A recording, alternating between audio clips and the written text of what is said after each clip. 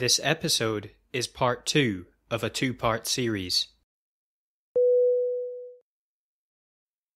On the afternoon of January 16th, 2003, the Space Shuttle Columbia sits poised on Launch Pad 39A at Kennedy Space Center as the minutes tick down to liftoff. Columbia, with her crew of seven, has been selected for STS 107, a mission dedicated to scientific discovery with a focus on microgravity.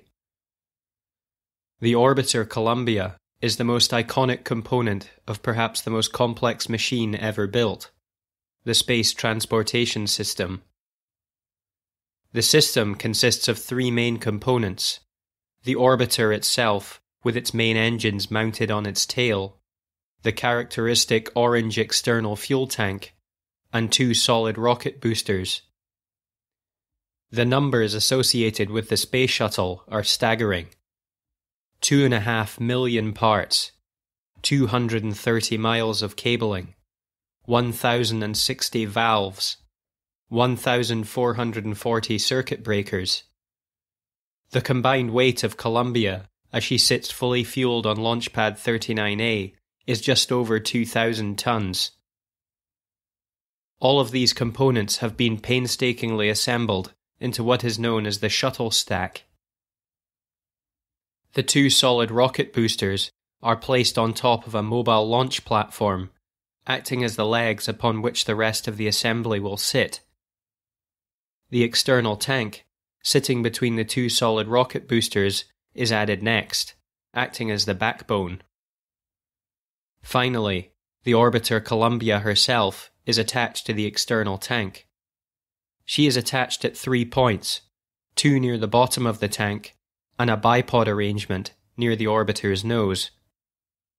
Once the entire assembly is ready, a crawler transport picks up the entire mobile launch platform and moves it at 1 mile per hour to one of two launch pads. At T minus 30 seconds, Columbia's internal computers take over the countdown, running through a myriad of system checks as the seconds count down. At T minus 16 seconds, the sound suppression water system is armed. Flowing at a rate of 3.5 million litres a minute, the water cushions the shuttle and the launch structure from the vibrations caused by the combined power of Columbia's engines and the solid rocket boosters. Nozzle check of the SRBs. Firing chain is armed. Sound suppression water system armed.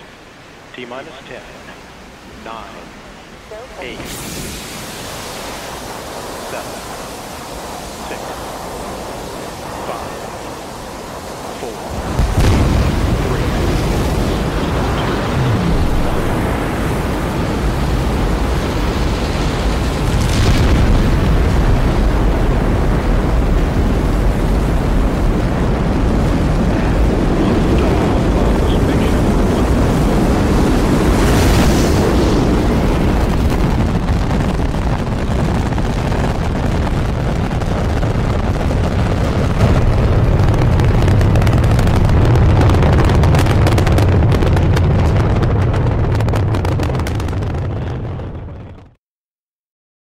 As we now know, 82 seconds later, Columbia is fatally struck by a piece of foam from the external tank, which causes catastrophic damage to the thermal protection system and leads to its destruction 16 days later. Part 2 tells the story of how the seven astronauts of STS 107 came to be placed in this situation. You are listening to Inside the Black Box these are the events of Shuttle Transportation System Mission 107.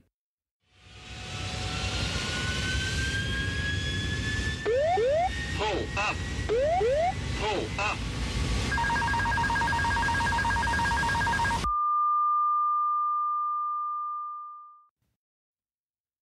To quote the Columbia Accident Investigation Board's report, the board's investigation of what caused the Columbia accident began in the fields of East Texas, where the wreckage of Columbia was found, but reached more than 30 years into the past. To understand the loss of Columbia fully, we need to start at the very beginning and chart the series of economically and politically driven decisions that would have fatal implications even decades later. The Space Shuttle program dates back to discussions that were taking place as man was taking its first steps on the Moon during the Apollo program. Once the program was completed, NASA wished to focus on developing increasingly larger human outposts in Earth orbit. These would be launched atop the famous rocket which carried Apollo's astronauts into space, the Saturn V. NASA wished to first construct a 12 person space station by 1975, followed by a 50 and then a 100 person station. Further installations would be placed in orbit around the Moon then constructed on the surface of the Moon itself. In parallel to these aims, NASA would develop a vehicle suitable for the manned exploration of Mars. In order to achieve both of these visions, NASA required a vehicle which could transport personnel and supplies from Earth to low Earth orbit in as economical a way as possible. To minimize costs, a fully reusable vehicle was envisaged, and it was in this context that the concept of the Space Shuttle was born. While NASA's plans for the further exploration of space were visionary, these were in stark contrast with the political and economic realities of the United States during the late 1960s and early 1970s. President Johnson prioritized programs designed to alleviate poverty and racial inequality in the United States, as well as managing the turmoil associated with the Vietnam War.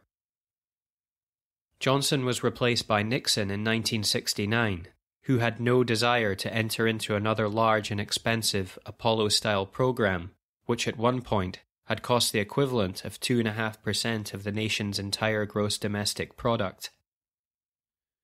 These budget cuts necessitated halting production of any further Saturn V rockets, which made NASA's vision of launching progressively larger space stations into orbit an impossibility.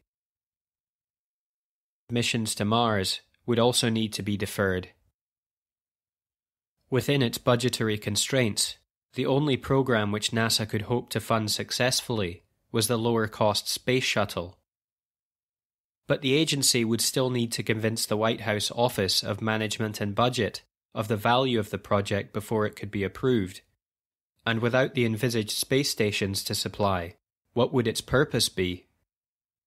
NASA needed to create a new mission for the vehicle. NASA decided to justify the sanctioning of the space shuttle on economic grounds. The agency reasoned that if a single vehicle could launch all government, military, and private sector payloads, and that vehicle could be reused, then the nation's cost of launching and maintaining satellites in orbit could be dramatically reduced. However, this argument only stacked up if the Department of Defense, who would be a key customer, was willing to use the shuttle to place its payloads in orbit. 50 launches per year would be required in order to justify investment in the program. In order to accomplish what NASA was promising, the vehicle it was required to design needed to be revolutionary.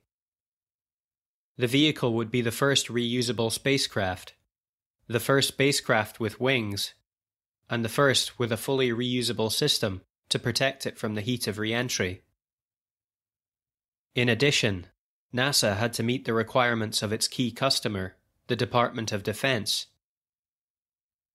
At the height of the Cold War, the Department of Defense wanted the shuttle to be able to take off and land in a single polar orbit of the Earth.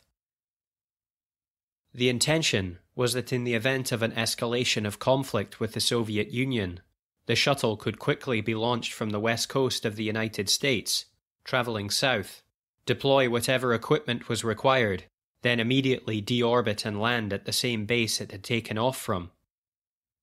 However, the requirement to land at the same location it had taken off from posed enormous design challenges. While the shuttle was travelling around the Earth, the planet would still be rotating below it. This meant that the shuttle needed to travel east by about 1100 miles to reach the same location it had launched from. This design consideration could only be met by installing large wings on the vehicle. The rate at which the orbiter would need to re enter the atmosphere to land within a single orbit also required far more robust protection from the heat of re entry than it would have otherwise required. These mounting requirements were in the context of the Office of Management and Budget stipulation that NASA's budget be kept low.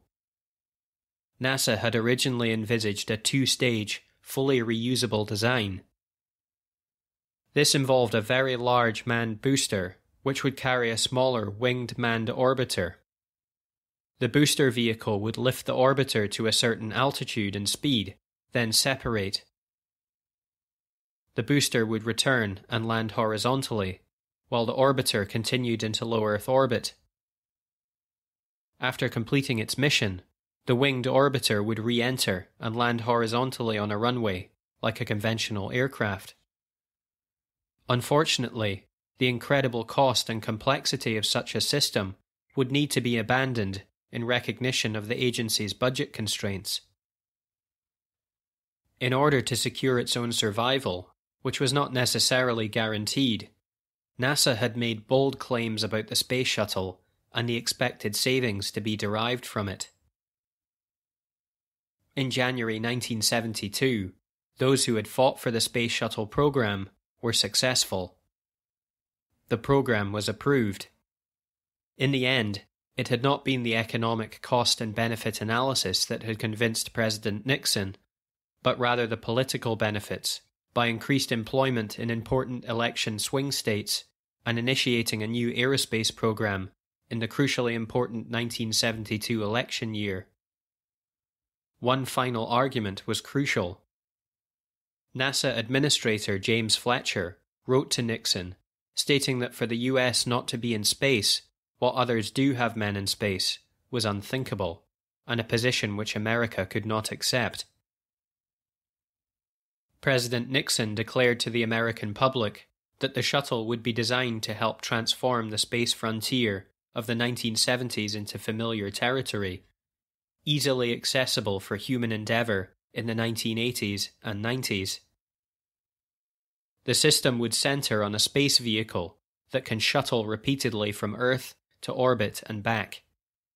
It would revolutionise transportation into near space by routinizing it.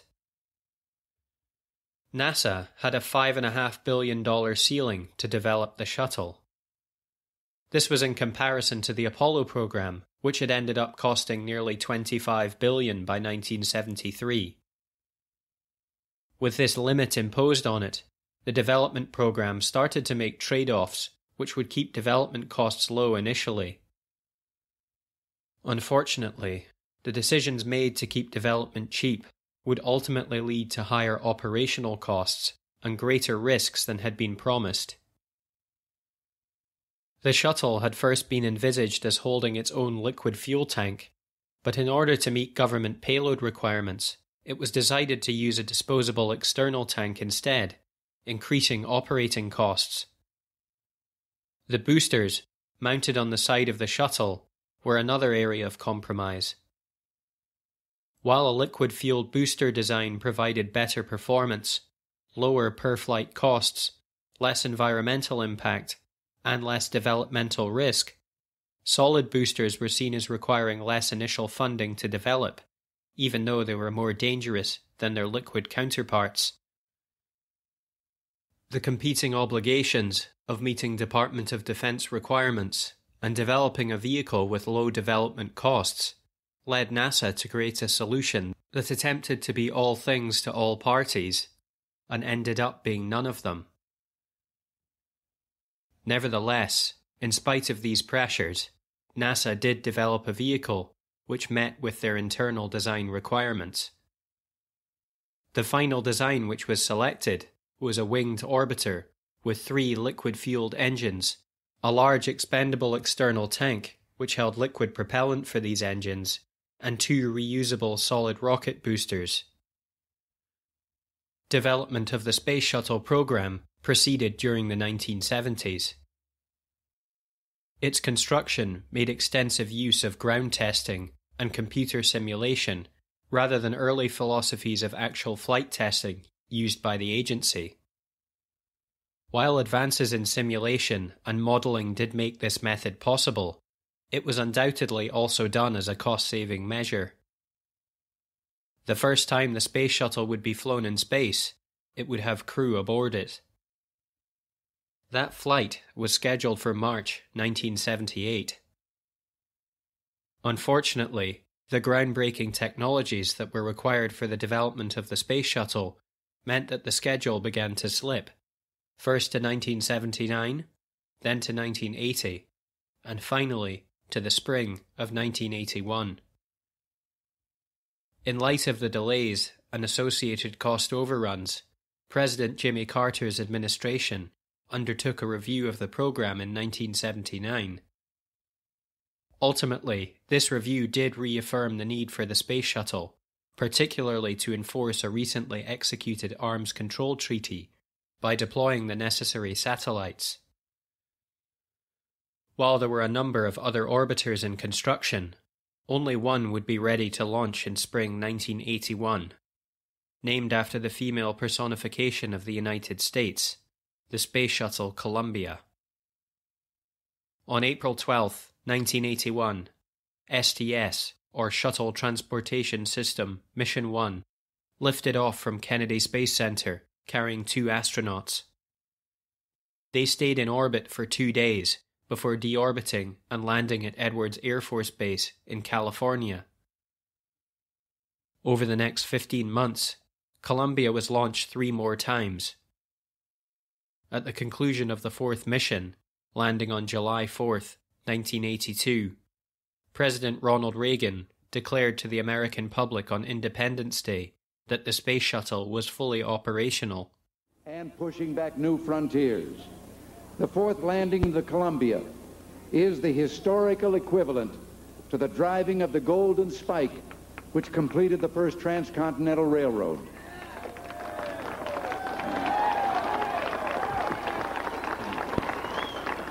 It marks, it marks the, our entrance into a new era.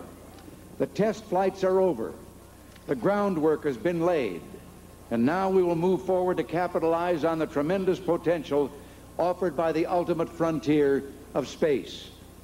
Beginning with the next flight, the Columbia and her sister ships will be fully operational, ready to provide economical and routine access to space for scientific exploration commercial ventures, and for tasks related to the national security.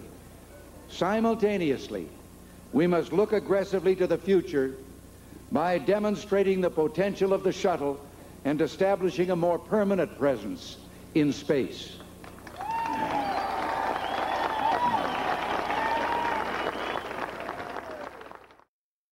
The Columbia Accident Investigation Board cited two principal reasons for the speedy declaration of the Space Shuttle as being operational. The first was NASA's hope of gaining swift presidential approval for its ultimate aim, the space station, which could not be undertaken while the shuttle was still considered a developmental vehicle. The second was the Space Shuttle now had a competitor for its commercial contracts the European Space Agency had developed and launched a disposable launch system, the Ariane, which was now a viable competitor.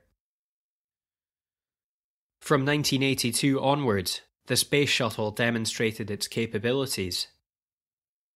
It retrieved two communication satellites that had suffered upper stage misfires after launch, repaired another communication satellite while in orbit, and flew multiple science missions with the pressurized European Space Lab module in the payload bay, which allowed astronauts to work in this environment. The shuttle took astronauts into space from a variety of countries, including Germany, Mexico, Canada, and France. By 1985, there were four orbiters in operation. Nine missions were flown in a single year. By the end of 1985, the shuttle had launched 24 communication satellites and had an additional backlog of 44 orders for future commercial missions. But while the Space Shuttle program appeared to be proceeding as planned, it was in fact encountering numerous problems. When the shuttle had been designed, it was envisaged that the orbiter would be ready to launch within two weeks of landing. But in reality, this process would take months. It was discovered that far more maintenance was required on the orbiters between flights before they could be launched. In 1975, it was projected that the orbiters would need 10 working days to be turned around and ready for flight again. In 1985, an average of 67 days elapsed before the shuttle was ready for another launch. Despite its status as fully operational, the reality was that NASA engineers and their contractors were still learning a great deal about the capabilities and limitations of the space shuttle trying to make necessary modifications while still ramping up the flight schedule. Half of the turnaround time after a mission was unplanned tests and modifications based on unexpected events that had occurred during flight. In addition, because there were very few redundant safety systems in the space shuttle, components needed to function perfectly every time. While NASA had planned for 50 launches per year, it was now targeting 24 launches per year by 1989. The per mission cost for the space shuttle was now 140 million, which, adjusted for inflation, was seven times what NASA had originally predicted a decade earlier. But the push for a full flight schedule was having a more insidious and dangerous effect. Any illusion that the space shuttle was an operational system was shattered on the morning of January 28, 1986. On that day, the Space Shuttle Challenger was destroyed 73 seconds after launch. The seven member crew, which included an elementary school teacher, were killed. To investigate what had happened to the Space Shuttle Challenger, a presidential commission was established, which became known as the Rogers Commission after its chairman. The Rogers Commission concluded that the loss of Challenger was caused by a failure of the joint and seal between the two lower segments of the right solid rocket booster.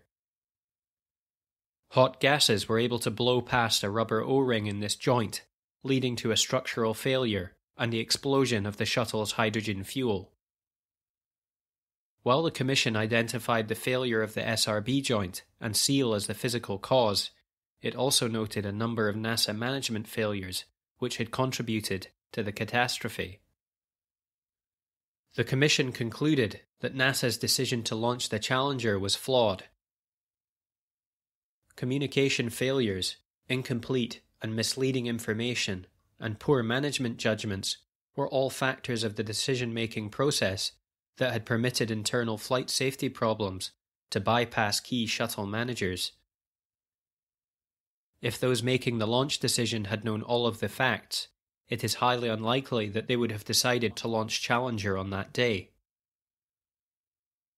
Another key issue identified was the shuttle's increasing flight rate in the 1980s, which created schedule pressure, including the compression of training schedules, a shortage of spare parts, and focusing of resources on resolving short term problems. The Rogers Commission concluded that the drive to declare the Space Shuttle operational had put huge pressures on NASA and stretched the agency past its limit. As well as mandating the redesign of the solid rocket booster, the Commission recommended the creation of an independent safety body within NASA which would report directly to the NASA administrator. NASA took the Roger Commission's findings very seriously and made a great deal of organizational changes. The agency moved the management of the Space Shuttle program from the Johnson Space Center in Texas to NASA's headquarters in Washington, D.C. This was intended to prevent the sort of communication breakdown which had led to the Challenger disaster. NASA also established the Office of Safety, Reliability and Quality Assurance, reporting directly to the NASA administrator. While the Challenger disaster led to changes within NASA, it also resulted in governmental policy changes. The Challenger disaster destroyed the notion that the shuttle could make flying to space routine, and the United States would not risk its astronauts for commercial purposes. In addition, for government and military contracts, the shuttle could now only be used to launch payloads where a human presence was actually required. For all other launches, an expendable launch vehicle would be used. The planned shuttle facility to be used by the military at Vandenberg Air Force Base on the west coast of the United States was abandoned. 32 months after the loss of Challenger, the next space shuttle would launch. NASA would take this opportunity to construct a new orbiter to replace Challenger, the Space Shuttle Endeavour and undertake a number of upgrades on the existing space shuttles. As the shuttle returned to flight, the NASA Associate Administrator for Spaceflight stated, "We will always have to treat the space shuttle like an R&D test program, even many years into the future. I don't think calling it operational fooled anybody within the program. It was a signal to the public that shouldn't have been sent." While NASA did undergo major organizational reforms following the loss of Challenger, including the appointment of new directors at Johnson, Marshall, and Kennedy Space Centers, the culture of the NASA human spaceflight program proved more difficult to change. NASA's organizational culture had been born in the hottest part of the Cold War with the Soviet Union. It had been created as a direct response to the Soviet launch of Sputnik 1, the first satellite in space. In 1961, President Kennedy tasked the fledgling agency with reaching the moon before the end of the decade, despite only having accumulated 15 minutes of spaceflight by this time. With its efforts linked to US Soviet competition, there was a sense within the workforce at NASA that the agency was engaged in a historic struggle with a foreign power that was central to the entire nation's agenda. The Apollo program, which would be established to accomplish President Kennedy's vision, had a can do attitude, marked by tenacity in the face of impossible challenges. This culture valued interaction between research and testing, hands on engineering experience, and relied on the quality of its personnel. Importantly, this culture accepted risk and failure as inevitable aspects of operating in space, even as it held attention to detail in order to lower those chances of failure as its highest value. With the successful moon landing in July of 1969 and further achievements that would follow, it placed NASA in the national consciousness but these achievements also help reinforce NASA personnel's faith in their organizational culture. Its successes created an image of NASA as a perfect place, the best organization that humans could create to achieve selected goals. But the continuing image of NASA as a perfect place in the years after Apollo left current NASA employees and the employees that followed them unable to recognize that NASA had never been a perfect place. With the space race all but won against the Soviet Union, it was also significantly less important to the nation as a symbol of national pride. The pioneering and risk taking culture that was encouraged and to a certain extent may have been necessary during the Apollo program would run into the more bureaucratic nature of the 1970s. Personnel were no longer being asked to design exploratory spacecraft, but instead to design a reusable vehicle to make getting into space and returning routine. What was effectively a space truck, as it was called at the time. The bottomless budgets of the 1960s had been replaced with an ever tightening budget. A greater reliance on contractors to deliver the shuttle and a tendency towards bureaucracy required better communication in order for the agency to remain successful. But the Rogers Commission would find out following Challenger that this ability to effectively communicate was lacking. When criticism of the organization's culture was leveled against it, NASA would double down on it, exuding a self confidence about the organization possessing unique knowledge on how to safely launch people into space that nobody else could do.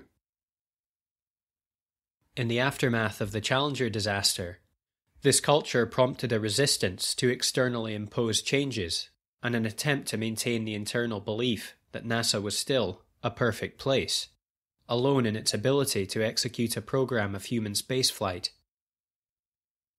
Within NASA centers, as human spaceflight program directors strove to maintain their view of the organization, they lost their ability to accept criticism, leading them to reject the recommendation of many boards and papers, including the Rogers Commission.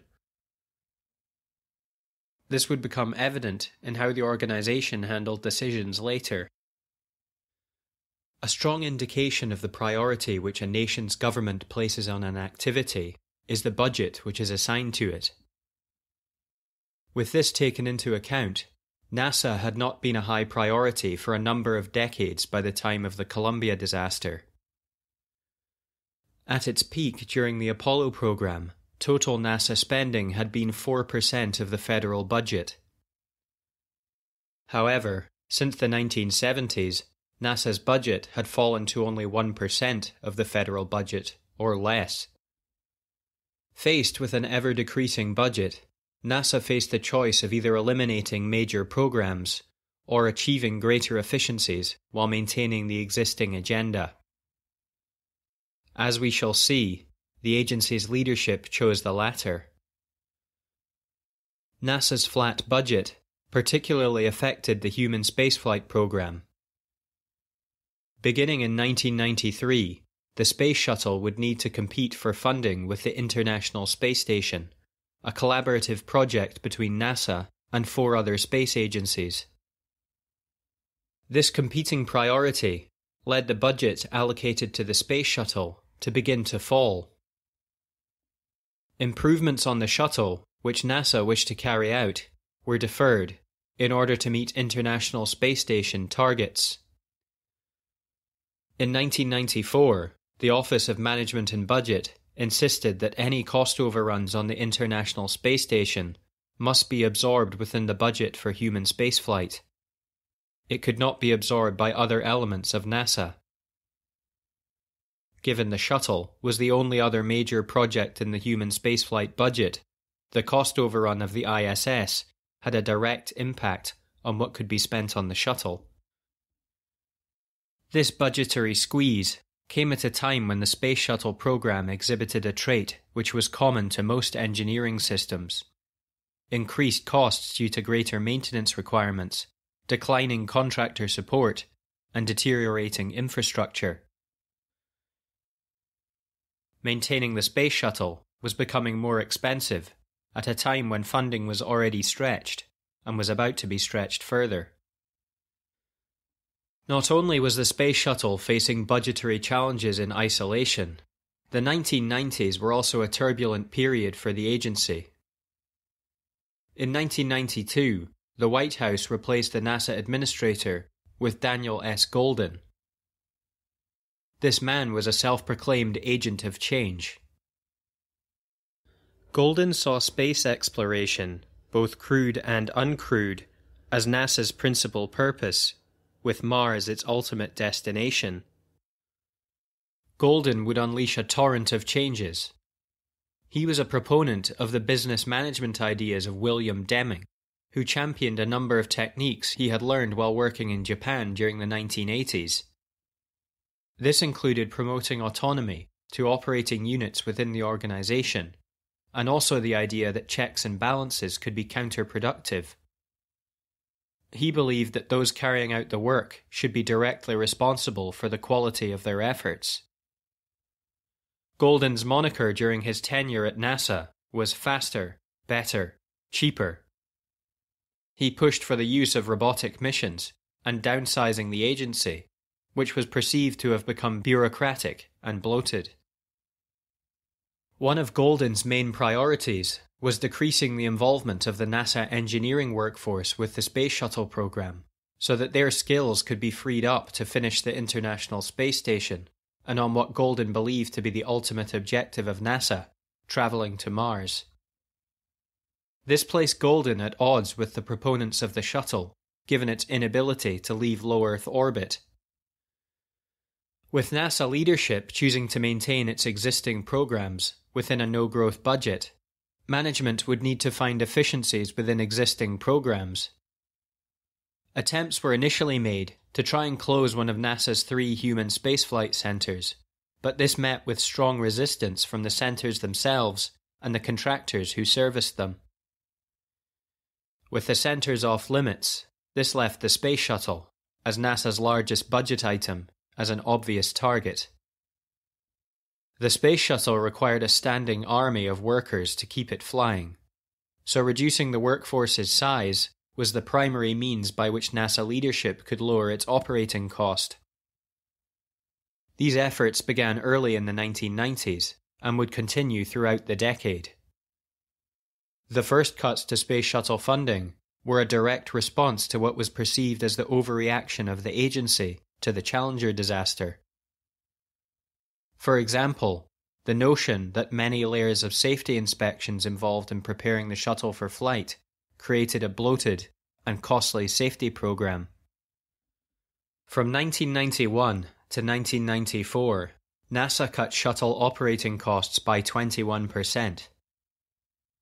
This translated to a 20% reduction in contractor personnel working on the shuttle and a 27% reduction in NASA personnel. Despite this significant cut, the shuttle was still projected to exceed its assigned budget by $2.5 billion. More cuts would be needed. Following a NASA functional workforce review, the agency once again cut personnel supporting the shuttle. By 1997, the number of NASA employees working on the Space Shuttle numbered 2,195, about half of what it had been five years earlier. The number of contractors was now 17,281. These staff cuts created uncertainty and tension within the shuttle workforce, as it would within any organisation. To build on this, some of the recommendations which had been made as a consequence of the Challenger disaster began to be reversed. Goldin's view that headquarters should assign overall strategic objectives, with subordinates then delivering autonomously, was at direct odds with the Rogers Commission finding that shuttle operations should be managed from NASA's headquarters to facilitate communication. In 1996, Goldin assigned Johnson Space Center as the lead center in the Space Shuttle program, just as it had been before the Challenger disaster. This now meant that managers at Johnson Space Center had authority over the funding and management of shuttle activities which took place at the other centers, Marshall and Kennedy. There was already a significant rivalry which had existed between the Marshall and Johnson Space Centers since the Apollo program. This situation did not alleviate this competition. The change did not go unchallenged.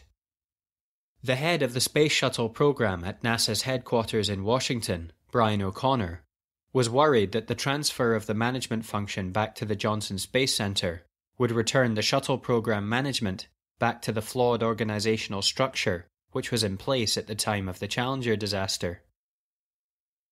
Goldin did give O'Connor the opportunity to challenge the decision a number of times, but was ultimately unconvinced, and the change continued as planned. O'Connor felt no choice but to resign. In 1996, Goldin assigned a new director for the Johnson Space Center, his close advisor, George W.S. Abbey. Abbey was a career man at NASA and a veteran of the earlier missions of Apollo. He was a firm believer in the original human spaceflight culture, which centered on pushing boundaries and minimizing, but accepting a degree of risk in these endeavors. Abbey was an authoritarian figure in his role who would exert significant influence on the culture at Johnson Space Center for the rest of the 1990s. The mid 1990s were a time where the initiative of public private partnerships were incredibly popular. These initiatives were seen across many federal programs, with the intended purpose being to import private sector efficiency techniques to make governments more results oriented and less costly. NASA was no exception to this. In keeping with Goldin's philosophy that NASA should focus on its core mission of research and development, Goldin wished as much as possible to remove NASA employees from the operation of its various systems, which included the Space Shuttle. The idea of giving primary responsibility for Space Shuttle operations to a private enterprise was both in keeping with government priorities and matched Goldin's own ideology. As a consequence, beginning in 1994, NASA began considering the feasibility of consolidating many of its space shuttle operations contracts under a single contractor. That same year, the Space Shuttle program was responsible for the management of 86 separate contracts, held by 56 separate contractors. It seemed common sense that consolidating these contracts would reduce redundant overhead both for NASA and its supplier base. The approach was recommended in what would become known as the Kraft Report, named after the head of the advisory committee which wrote it. The report made a number of recommendations which appeared to be at odds with the recommendations following the Challenger disaster of the shuttle being an experimental vehicle. The report found the following 1. The shuttle had become a mature and reliable system, about as safe as today's technology will provide. 2. Given the maturity of the vehicle, a change to a new mode of management with considerably less NASA oversight was possible. 3. NASA should consolidate operations under a single business entity. 4. NASA should restructure and reduce the overall safety, reliability, and quality assurance elements without reducing safety. The notion that NASA might even further reduce the number of employees working directly on the shuttle program prompted senior Kennedy Space Center engineer Jose Garcia to write to President Clinton in 1995. In the letter, he stated that the biggest threat to the safety of the crew since the Challenger disaster is presently underway at NASA. Historically, NASA had employed two engineering teams at Kennedy Space Center, one contractor and one government. The two teams would then cross check each other's work and in this way help prevent errors. This technique was expensive, but it was also very effective. Despite these concerns, NASA leadership accepted the advice of the Kraft Report and in August 1995 began to solicit bids for the Shuttle Prime contract. In response to this request, Lockheed Martin and Rockwell, the two major space shuttle operations contractors, formed a new company, with each contractor holding a 50% share in the business, to compete for what was known as the Spaceflight Operations Contract. That new company would be known as the United Space Alliance. In November 1995, NASA awarded the spaceflight operations contract to United Space Alliance on a sole source basis. No other organization was considered. United Space Alliance would be responsible for 61% of the shuttle operations contracts. Over 1996, NASA would negotiate the contract with United Space Alliance. The contract was designed to reward the company for performance successes and penalize failures. United Space Alliance would be required to meet a series of safety gates to ensure that safety remained a top priority. The contract also rewarded cost reductions which the organization could achieve. NASA would take 65% of the savings, and United Space Alliance the remaining 35%. The contracts would gradually be transferred from NASA ownership to United Space Alliance over a number of years, beginning with the major contracts. But to some, the spaceflight operations contract was not the final outcome, but only the beginning. Less than a year after the spaceflight operations contract was executed, United Space Alliance submitted a contractually required plan for completely privatizing the space shuttle. While this proposal was ultimately rejected, the idea of privatization lingered within NASA. A white paper was prepared by NASA for the White House, which stated that instead of splitting responsibilities between NASA and United Space Alliance, a single private entity could be created. This would involve the transfer of between 700 and 900 NASA employees to this new organization, including the mission controllers, program managers, and even the astronauts themselves. A final key issue which plagued the Space Shuttle was the question of when it would be replaced. National government policy alternately flipped between treating the Space Shuttle as one which was going out of business and anticipating a further two decades of use.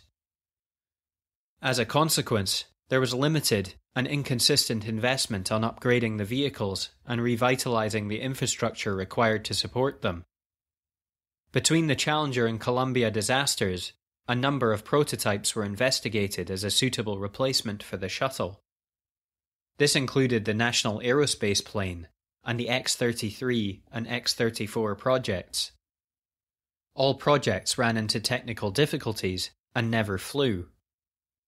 In sum, NASA spent nearly 15 years and several billion dollars and failed to find a suitable replacement for the shuttle. What the projects did mean was uncertainty as to when the shuttle would actually be replaced. Between 1986 and the Columbia disaster, the replacement date changed from 2002 to 2006 to 2020. This shifting date complicated strategy on investment decisions to upgrade the shuttle. What this inevitably meant was that the upgrades were cancelled for fear of wasting the money.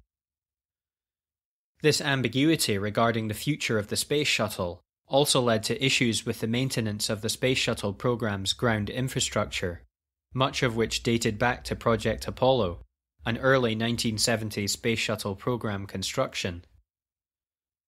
Maintaining infrastructure was particularly difficult at Kennedy Space Center in Florida, which is constantly exposed to a saltwater environment. While the press photos would show gleaming white buildings, particularly the famous Vehicle Assembly Building, closer inspection would show that these were seriously deteriorating. In November 2001, Goldin was replaced as NASA administrator by Sean O'Keefe. O'Keefe had previously been the deputy director of the White House Office of Management and Budget, an organization which NASA had frequently been in heated debate with regarding finances. O'Keefe's appointment was an explicit acknowledgement by the new Bush administration that NASA's main problems were not technical ability, but managerial and financial issues. O'Keefe's arrival coincided with a managerial realization at NASA that spending reductions on the space shuttle had gone much too far, and a replacement was not on the horizon. In 2002, with this in mind, O'Keefe began to undertake a number of new policies to reverse the changes which had been made by Goldin. Management of the Space Shuttle program was transferred back from Johnson Space Center to NASA headquarters in Washington. O'Keefe also introduced a strategic management of human capital initiative, in order to ensure the quality of the future NASA workforce to address the skill shortage that now plagued the organization because of cuts. Finally, in November 2002, NASA made a fundamental change in its strategy in what was known as the Integrated Space Transportation Plan. NASA pulled funding from the Space Launch Initiative which had been NASA's most recent attempt to design a replacement for the Space Shuttle. Instead, additional funds would be provided to the Space Shuttle program and International Space Station, with a commitment to keep the shuttle flying until at least 2010. To make good on this, NASA included $281 million in its 2004 budget submission to begin a Space Shuttle life extension program. But while these proposals would lead to upgrades to the shuttle in the longer term, in the immediate future, the damage was already done. The fiscal reality which the Space Shuttle had found itself in led to the system being poorly maintained and not upgraded, with a small workforce which had been repeatedly subject to layoff. Not only would financial issues plague the shuttle during the 1990s, but the schedule pressures, which many believed had played a role in the loss of the Challenger in 1986, began to return once again in the 1990s, this time under a different guise. During the 1990s, the International Space Station was the centerpiece of NASA's human spaceflight program. As discussed earlier, as the two main elements of the human spaceflight program, the Space Shuttle and the International Space Station were frequently in competition with each other for funding, and it would usually be the ISS which won. In November 1998, the first component of the ISS was launched from Baikonur Cosmodrome in Kazakhstan, the cargo block Zarya. By this time, the ISS was already two years behind schedule. The US launched its first ISS related space shuttle mission a month later. A further four shuttle missions to the International Space Station took place in 1999 and 2000, readying the station for its first permanent crew, Expedition 1. They arrived at the station in late 2000. With the change in political leadership in the United States from the Clinton to the Bush administration, the ISS was the subject of intense scrutiny. The space station was $4 billion over its projected budget and behind schedule. As a consequence, the scope of the International Space Station program was decreased to what would become known as the US Core Complete configuration. The Core Complete configuration was a reduced design which could only accommodate three crew members the final step in achieving this configuration would be the installation of Node 2, or the Harmony module. Harmony would serve as the utility hub of the ISS, connecting the laboratory modules of the United States, Europe, and Japan. Harmony would also provide electrical power and electronic data. Once Node 2 was attached, this would enable Europe and Japan to connect their laboratory modules.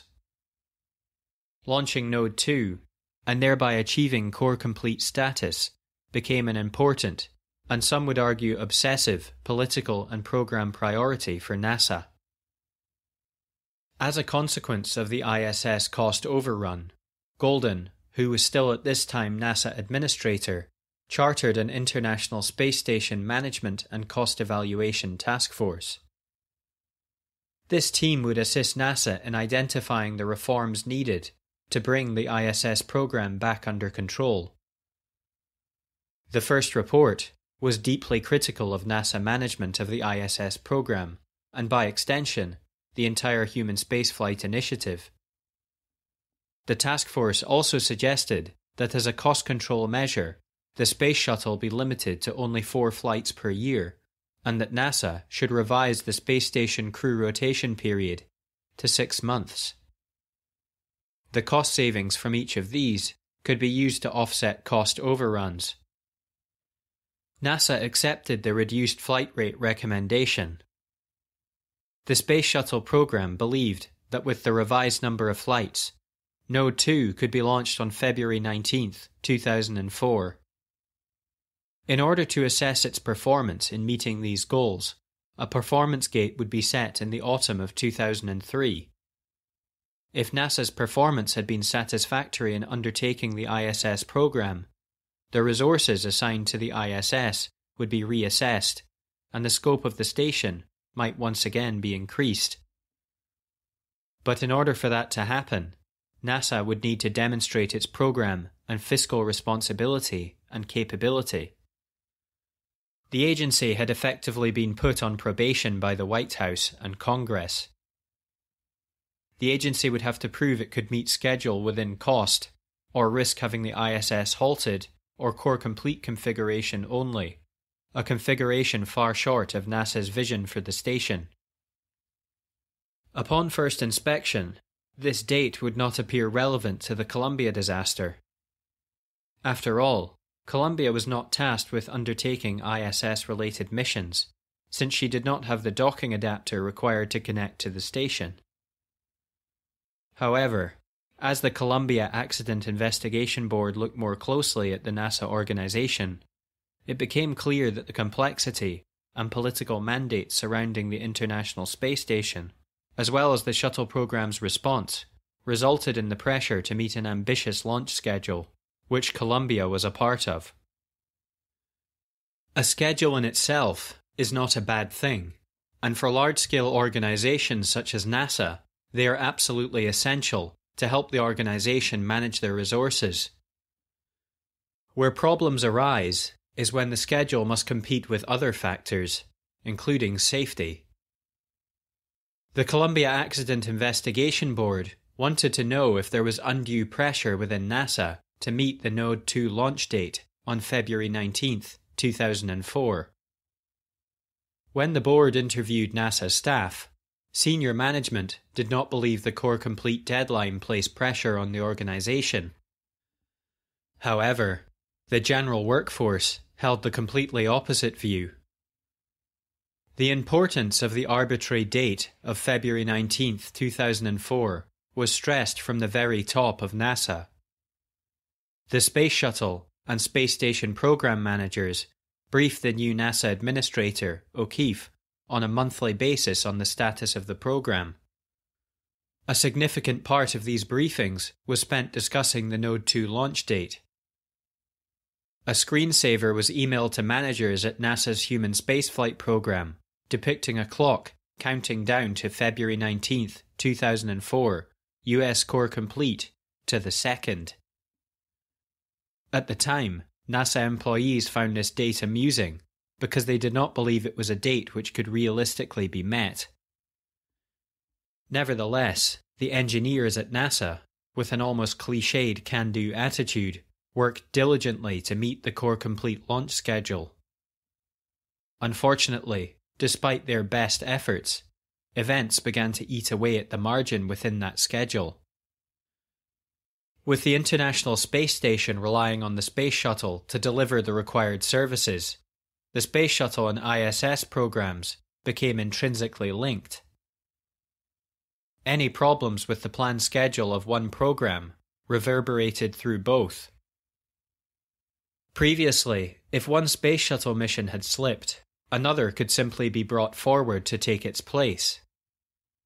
Now, the missions had to be flown in a specific order, and were constrained by the availability of the launch pad, the schedule of their Russian colleagues' Soyuz and Progress flights, and other processes.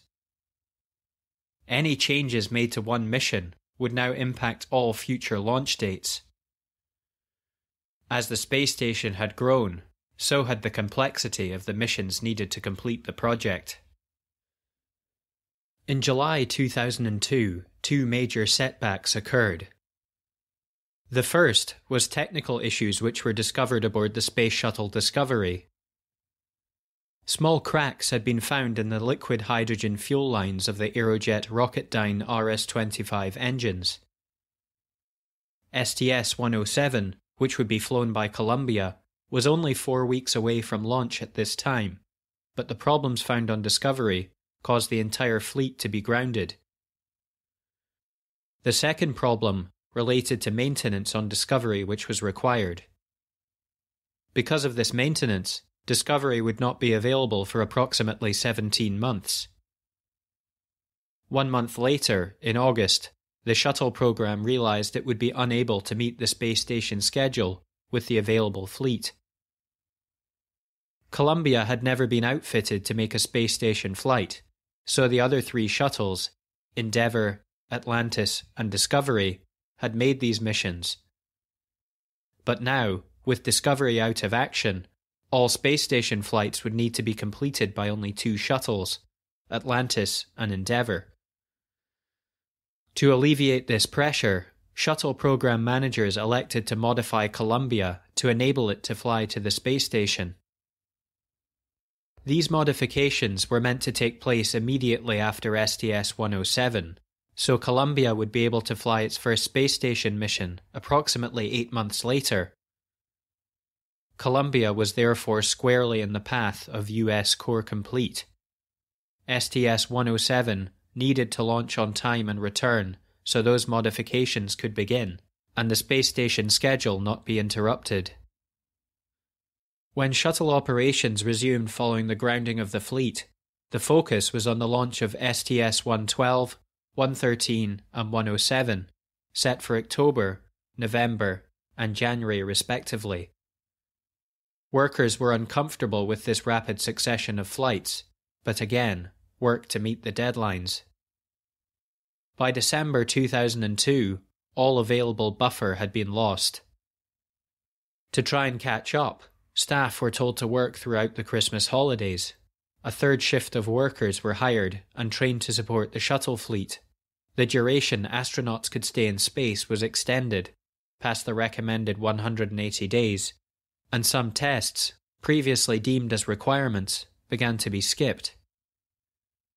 Despite all of these efforts, the program managers still estimated that the launch of Node 2 would be one to two months late. They began to accept risks in trying to meet a schedule that realistically probably could never have been met. As we discussed earlier, NASA personnel are famed for having a legendary can do attitude working against the odds to achieve an outcome. While this can contribute to the agency's successes, it can also be disastrous. When workers were asked to find days of margin in the schedule, they would work furiously to do so and were praised for the additional days they could find. However, these same people had a problem admitting or advising management that a particular shortcut couldn't or shouldn't be done or that resources were being stretched too thin. This tight schedule was the context in which NASA management and personnel would make decisions on STS 107 once it was in orbit. As we discussed earlier in the previous episode, foam loss and the risk it posed to the space shuttle was well understood, and the shuttle had never been designed to withstand any significant impact from foam loss. Next, the Columbia Accident Investigation Board wanted to understand how well understood the loss of foam was before the destruction of STS 107 and how much of a problem it had been historically. The investigation board would discover that foam loss had been a problem before the shuttle had even lifted off for the first time. When the Columbia Accident Investigation Board looked back at the data, from the beginning of the Space Shuttle program, foam loss from the external tank was considered a dangerous problem. Engineers were deeply concerned about the potential damage to the orbiter, and in particular, its thermal protection system.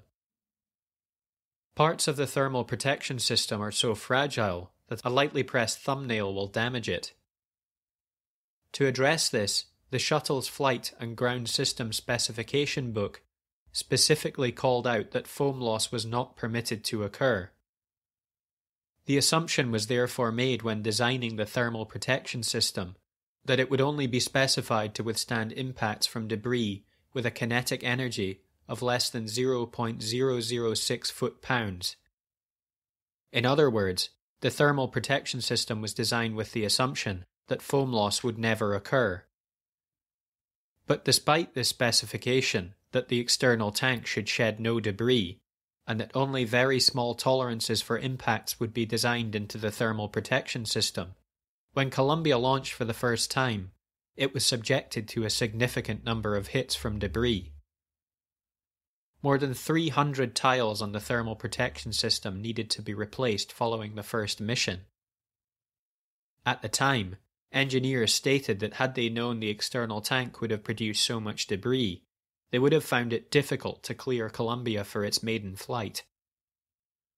But despite this high level of concern felt by NASA engineers about the foam strikes, foam continued to separate from the external tank. When it reviewed the data, the Columbia Accident Investigation Board found that orbiters would return to Earth with an average of 143 divots over the thermal protection system per mission.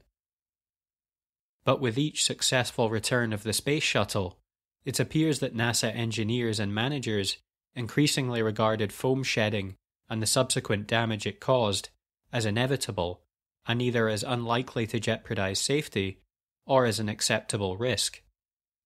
In addition, over time, the distinction between foam loss as a specific issue and debris from other sources appears to have become entangled. NASA and its contractors began to see the foam loss and debris events not as a safety of flight issue, but as a maintenance issue, to be expected on every flight. The problem began to be referred to, in NASA terminology, as in family this phrase refers to a problem that has been previously experienced, analysed, and understood. The shuttle had never been designed to withstand any significant impact from foam loss. Nevertheless, despite frequent incidents and near misses, the space shuttle had been allowed to continue flying. The final bipod ramp foam loss before Columbia would occur on STS 112 in October 2002. 33 seconds after launch, when the Space Shuttle Atlantis was at 12,500 feet and travelling at Mach 0.75, ground tracking cameras observed an object fall from the external tank, which subsequently impacted not the orbiter itself, but the ring which attached the solid rocket booster to the external tank. After impacting the ring, the debris was observed to break into numerous pieces, which then fell along the solid rocket booster's exhaust plume. The debris impact was observed to cause a deep tear in the insulation which covered the attachment ring and also exposed the vulnerable material of the ring itself to the atmosphere. Given the loss of bipod foam on STS 112 had been significant, and given its proximity to the Columbia shuttle disaster, the board was very interested to understand NASA's rationale to continue flying. This decision was significant to what had happened to Columbia, because if NASA had treated the foam loss more seriously, it might have granted engineers' requests for on orbit imagery of damage to Columbia, or alternatively, cancelled STS 107 altogether until safety issues had been resolved. At the Program Requirements Control Board meeting, following the return of STS 112. The Intercenter Photo Working Group, who are responsible for reviewing imagery of the shuttle during launch to identify any problems, recommended that the loss of bipod foam on STS 112 be classified as an in flight anomaly. In a meeting chaired by Shuttle Program Manager Ron Dittermore and attended by many of the managers who'd be actively involved with STS 107, the Program Requirements Board ultimately decided against such a classification. Instead, after discussion with the Integration Office and the External Tank Project, the chairman assigned an action to the External Tank team.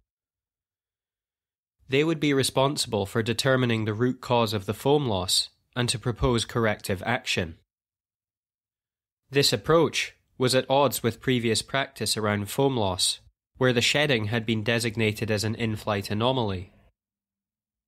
The external tank project was meant to report back on the 5th of December 2002, which was after the launch of the next Space Shuttle mission, STS 113, but before the scheduled launch of STS 107. In any event, the external tank project's timeline slipped, so that the report wouldn't be issued until after the launch of STS 107 NASA would launch not one, but two missions before the STS 112 foam loss was reported back on. The Columbia Accident Investigation Board wanted to understand why NASA would treat the foam loss on STS 112 differently to every foam loss that had occurred before it. That is, to stop treating the loss of foam from the left bipod ramp as an in flight anomaly and allow two missions to fly before the external tank project would report back. There were two principal reasons for continuing with operations. The first was that space shuttle managers appear to have become conditioned not to regard foam loss or debris as a safety of flight concern. The second was the pressure being felt to continue flight operations to ensure that US Core Complete schedule was met. Even though the results of the external tank team's foam loss analysis had not been provided, the foam shedding was reported or briefed at STS 113's flight readiness review on October the 31st, 2002.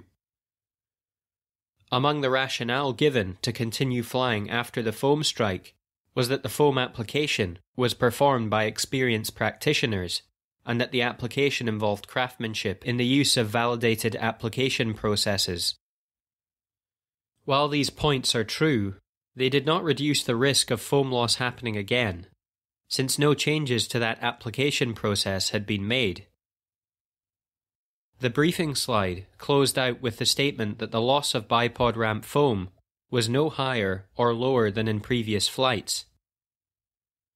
This statement could just as easily be rewritten to state that the probability of bipod ramp foam loss was just as high as it had been in previous launches.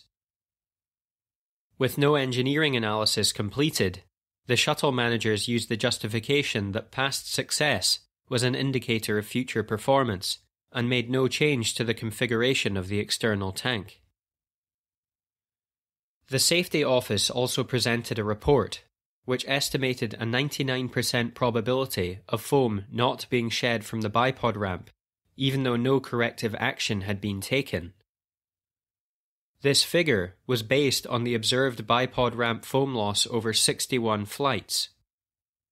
While this percentage made the probability of foam loss appear very low, the calculation was done with a sleight of hand to make the probability of foam loss appear low, rather than actually trying to estimate the real likelihood. Firstly, the calculation equated the probability of foam being lost from the left and right bipod ramp, when in reality, foam had never been shed from the right bipod ramp. This was a phenomenon that could not be explained by NASA. The calculation also miscounted the actual number of bipod foam loss events in two ways. First, the calculation only looked at flights between STS 112 and the most recent bipod foam loss event. It therefore excluded three other foam loss events which happened before this. The calculation also excluded the many flights where no imagery was available to determine if bipod foam loss had occurred, instead of projecting the statistical rate of bipod foam losses onto these missions. NASA management adopted an attitude of, what you don't see won't hurt you, when the exact opposite was true. The Columbia Accident Investigation Board undertook the calculation again, including all missions for which imagery was available, extending the rate of foam loss for missions where imagery wasn't available, and adding the additional incidents which they had discovered. When this was done, the probability of foam loss was not 1 in a hundred, it was 1 in 10. The STS 113 Flight Readiness Review ultimately signed off the highlighted risk, agreeing that foam loss should be characterized as an accepted risk rather than a safety of flight issue. Present at this meeting was an individual who would play an important role in the decisions made during STS 107, Linda Ham, Linda Ham would chair the STS 107 mission management teams, the meetings which oversaw Columbia's day to day operations once on orbit. STS 113 launched at night, so it is impossible to determine if foam loss was shed from the external tank, although it is a possibility. Ultimately, clearing STS 113 for flight would pave the way for the subsequent STS 107 with Columbia to take place. To show how minor the foam loss appeared to NASA, by the time the flight readiness review for STS 107 was undertaken, The documents included no discussion of the still unresolved STS 112 foam loss, even though the external tank project's review had still not been completed. Now that the Accident Investigation Board knew why STS 107 had been permitted to fly, they wanted to look at the decisions made once Columbia was on orbit and how the organization had responded to the foam strike. The following is a summary of the actions, decisions, and rationale which NASA used to permit STS 107's re entry. The complex nature of NASA's organization makes the topic challenging to explain, but understanding the decisions taken is vital to understand why the shuttle Columbia was lost. STS 107 was launched on Thursday, January 16, 2003, Flight Day 1. As with every shuttle mission, as soon as Space Shuttle Columbia had reached orbit on the morning of January 16th, NASA's Intercenter Photo Working Group at Marshall Space Center in Huntsville, Alabama, went to work. They began reviewing liftoff imagery by video and film cameras on the launch pad and at other sites around Kennedy Space Center. On the first review of the imagery, nothing unusual was noted.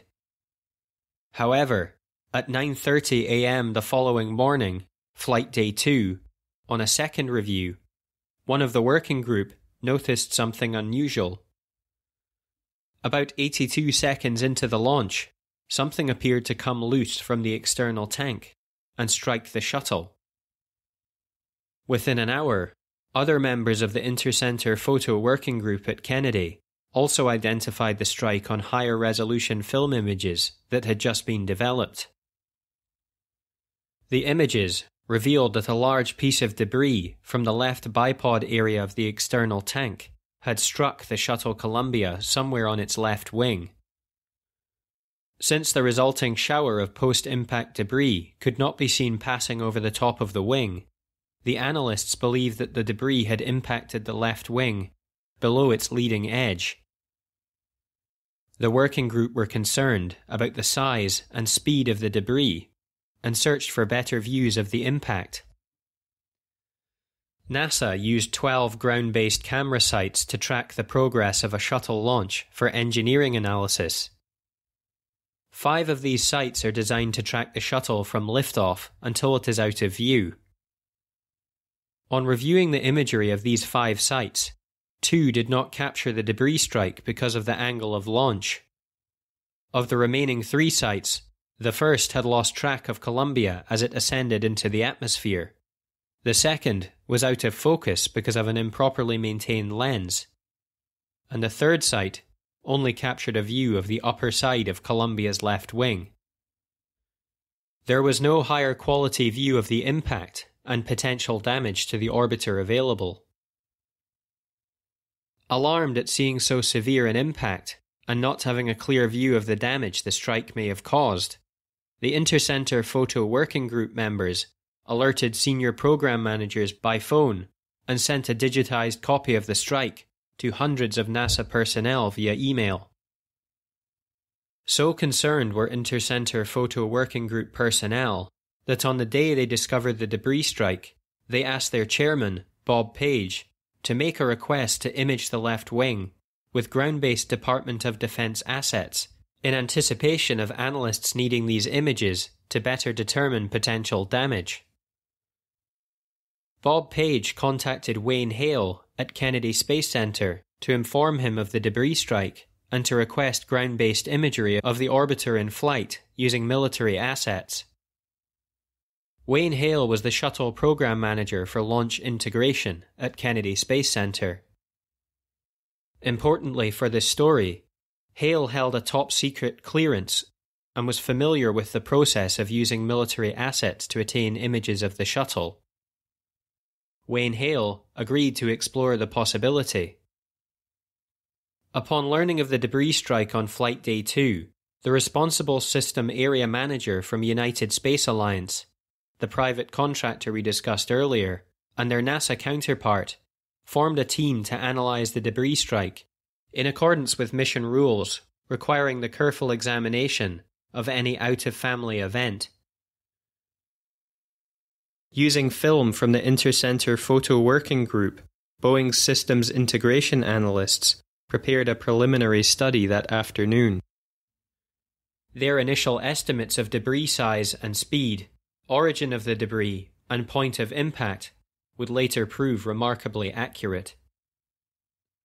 Meanwhile, even though no report into the strike had yet been released, Early opinions about potential damage to the shuttle's thermal protection system in general, and reinforced carbon carbon leading edges in particular, had already begun to be circulated among technical managers. The subsystem area manager for the thermal protection system issued an email to other management stating Basically, the RCC is extremely resilient to impact type damage the piece of debris, most likely foam or ice, looked like it most likely impacted the wing leading edge reinforced carbon carbon and broke apart. It didn't look like a big enough piece to pose any serious threat to the system, and Mike Gordon concurs. At T plus 81 seconds, the piece wouldn't have had enough energy to create a large impact to the reinforced carbon carbon wing leading edge system. This opinion appeared to be shared with senior NASA management. Both NASA and United Space Alliance management had confirmed that contractor personnel would not be looking at the debris strike over the upcoming holiday weekend, given what they perceived to be the low speed of the impact and the robustness of the thermal protection system and the RCC panel. Towards the end of Flight Day 2, the Intercenter Photo Working Group distributed its initial report, which included digitized clips of the debris strike via email. This was sent throughout NASA and the contractor communities. Already, just one day after the launch, there was a significant difference in opinion between NASA management and the engineers with the technical knowledge of the situation. The Intercenter Photo Working Group were deeply concerned about the debris strike and wanted on orbit images of the shuttle's left wing to deepen their analysis. They had initiated actions to achieve this. A debris assessment team had also been established to further understand the impact. In contrast, senior management at NASA and the United Space Alliance were voicing a much lower level of concern and had actually stated that United Space Alliance and Boeing contractors should not work on analysing the debris strike over the weekend, since it wasn't necessary. Despite this instruction from management, technical personnel did work over the weekend. Boeing analysts performed a preliminary damage assessment on Saturday, Flight Day 3. Using videos and photographs, they generated two estimates of possible debris size they determined that the debris was travelling at a speed of 750 feet per second, or 511 miles per hour, when it struck the orbiter with an angle of less than 20 degrees. This assessment was in sharp contrast to the earlier circulated email from management stating that the foam wouldn't have had enough energy to damage the orbiter. The analysts also studied where the debris was likely to have struck the shuttle using a transport analysis model. This model identified 15 strike regions and the angles of impact with the shuttle. 12 of these areas were on the shuttle's lower tiles, and only one was the shuttle's reinforced carbon carbon leading edge. As a consequence, the analysts would now focus their attention on the tiles and not the RCC panels. With estimates of the size of the debris, its speed and location, the analysts now wish to understand what kind of damage the shuttle could have incurred.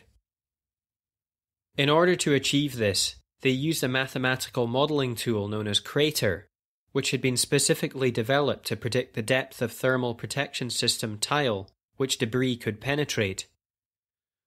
This algorithm had been previously used for estimating small debris impacts, such as foam ice and metal debris during testing, with the debris being about 3 cubic inches. When the model had previously been tested, Crater usually predicted more severe damage than had actually been observed.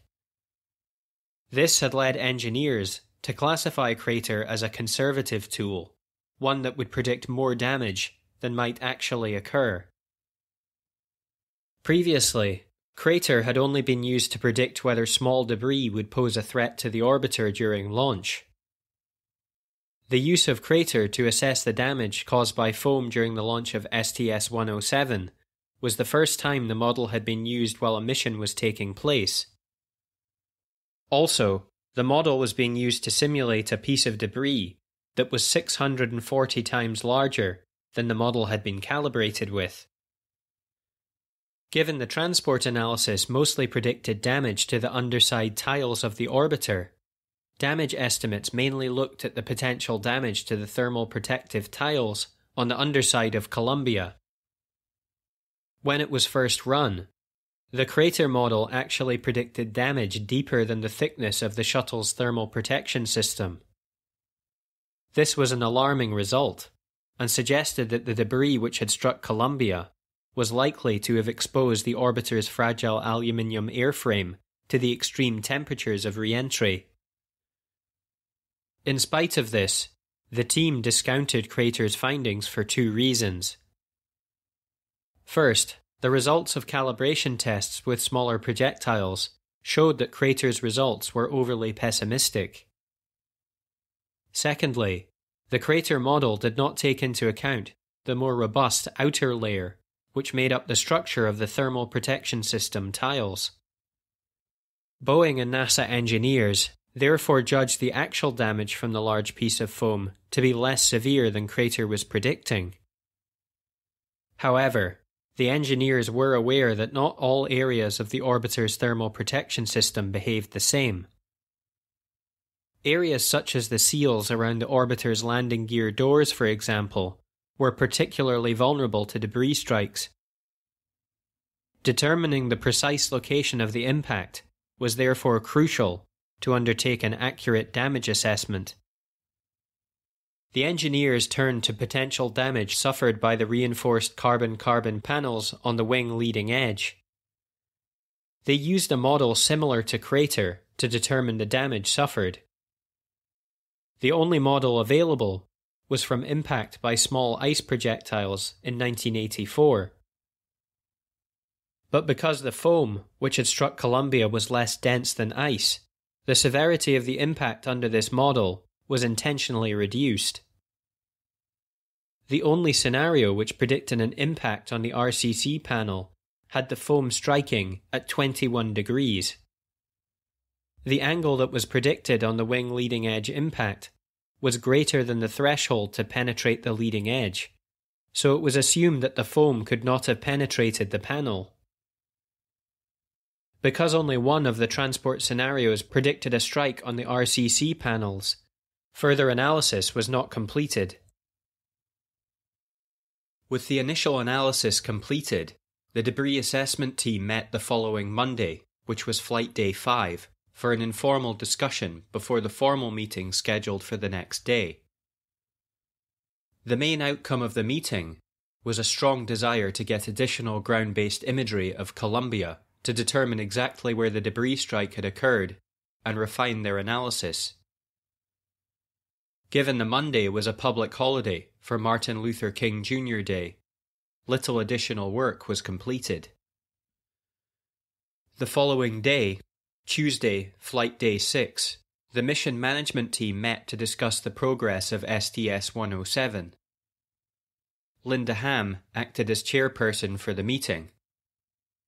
The transcript is the first record of an official discussion of the debris impact.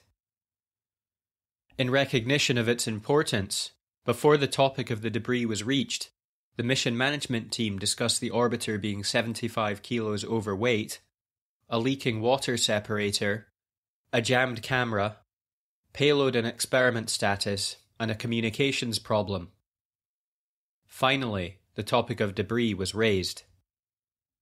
The following is an audio recording from the actual mission management team meeting. Right, or maybe we could power up and I don't know, fess some more and get rid of some water. I don't. folks are looking at. We'll, we'll Okay. look at it. But- That's it. All right. I know you guys are looking at that debris.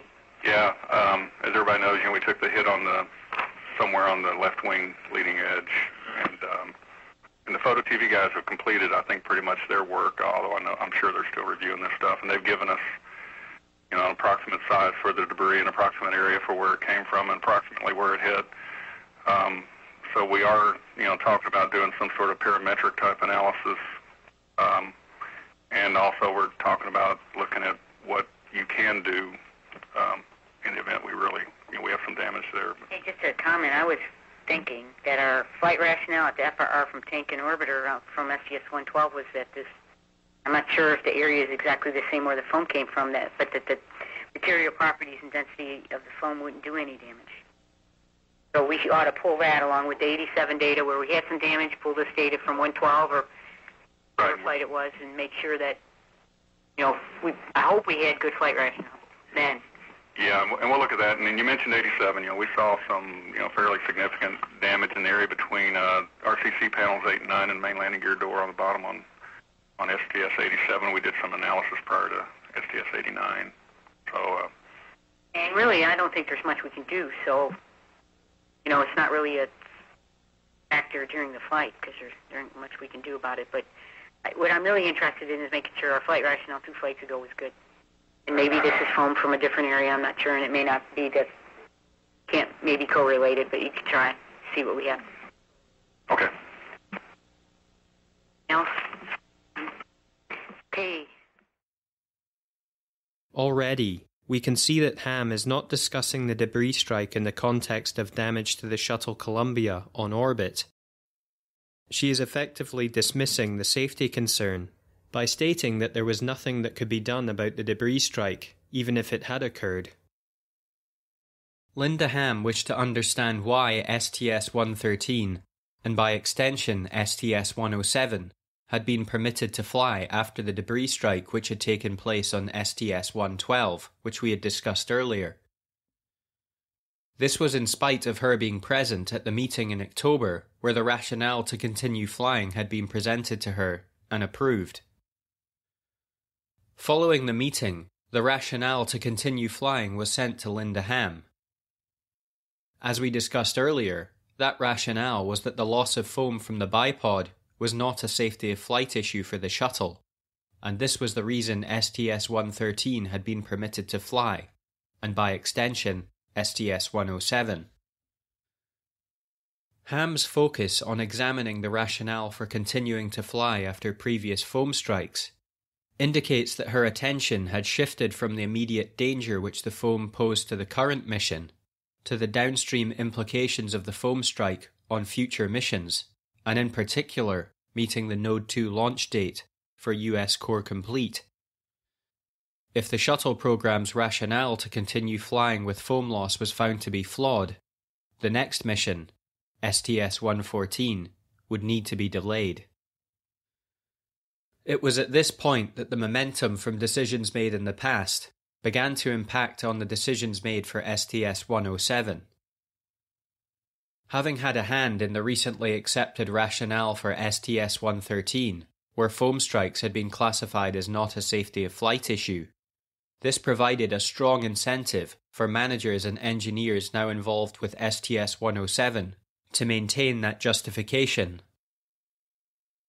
If managers and engineers were to argue that foam strikes were a safety of flight issue after all, they would contradict the established consensus of the mission before, which they themselves had played a part in building. Perhaps most tellingly, although Linda Ham did not disclose any misgivings in the mission management team meetings, she did forward the justification to her manager, Ron Dittermore, along with her own feelings regarding the justification to continue flying. The email states the following You probably can't open the attachment, but the external tank rationale for flight for the STS 112 loss of foam was lousy. The rationale states we haven't changed anything. We haven't experienced any safety of flight damage in 121 flights. risk of loss of bipod ramp thermal protection system is the same as previous flights, so the external tank is safe to fly with no added risk. The rationale was lousy then, and still is. Meanwhile, responding to concerns from his employees who were participating in the debris assessment team, one United Space Alliance manager contacted their NASA colleague, Lambert Austin, to ask what it would take to get imagery of Columbia on orbit. Lambert in turn telephoned the Department of Defense Manned Spaceflight Support Office to ask what actions would be needed to get imagery of Columbia. Austin emphasized that this was merely information gathering at this stage. The Department of Defense began working on his request. Later on the same day, still Flight Day 6, the debris assessment team held its first formal meeting to finalize its damage estimates to Columbia and their potential consequences. After two hours of discussion, the conclusion was that the team needed to know precisely where the debris had impacted the orbiter. The team assigned the co chair of the debris assessment team, Rodney Rocha, to pursue the request for imagery of Columbia on orbit. Normally, Rocha would work the request up through the usual chain of command, through first the mission evaluation room, and then the mission management team, chaired by Linda Ham. However, on this occasion, the debris assessment team, largely because of a perceived lack of interest from the mission management team members, decided to pursue the request through another channel at the Engineering Directorate at Johnson Space Center. As a consequence, Rocha sent an email to his manager to make the request. On Wednesday, Flight Day 7, there had now been three separate requests for ground based imagery of Columbia. The request by Bob Page of the Intercenter Photo Working Group to Wayne Hale an informal request for information made by Lambert Austin to the Department of Defense, and a third, formal request made by Rodney Rocha, chairman of the debris assessment team, to his manager. A chain reaction of events would now occur, which would lead to all three requests being terminated. The first request was made the day after the launch when the chairman of the Intercenter Photo Working Group, Bob Page, had contacted Shuttle Program Manager for Launch Integration, Wayne Hale.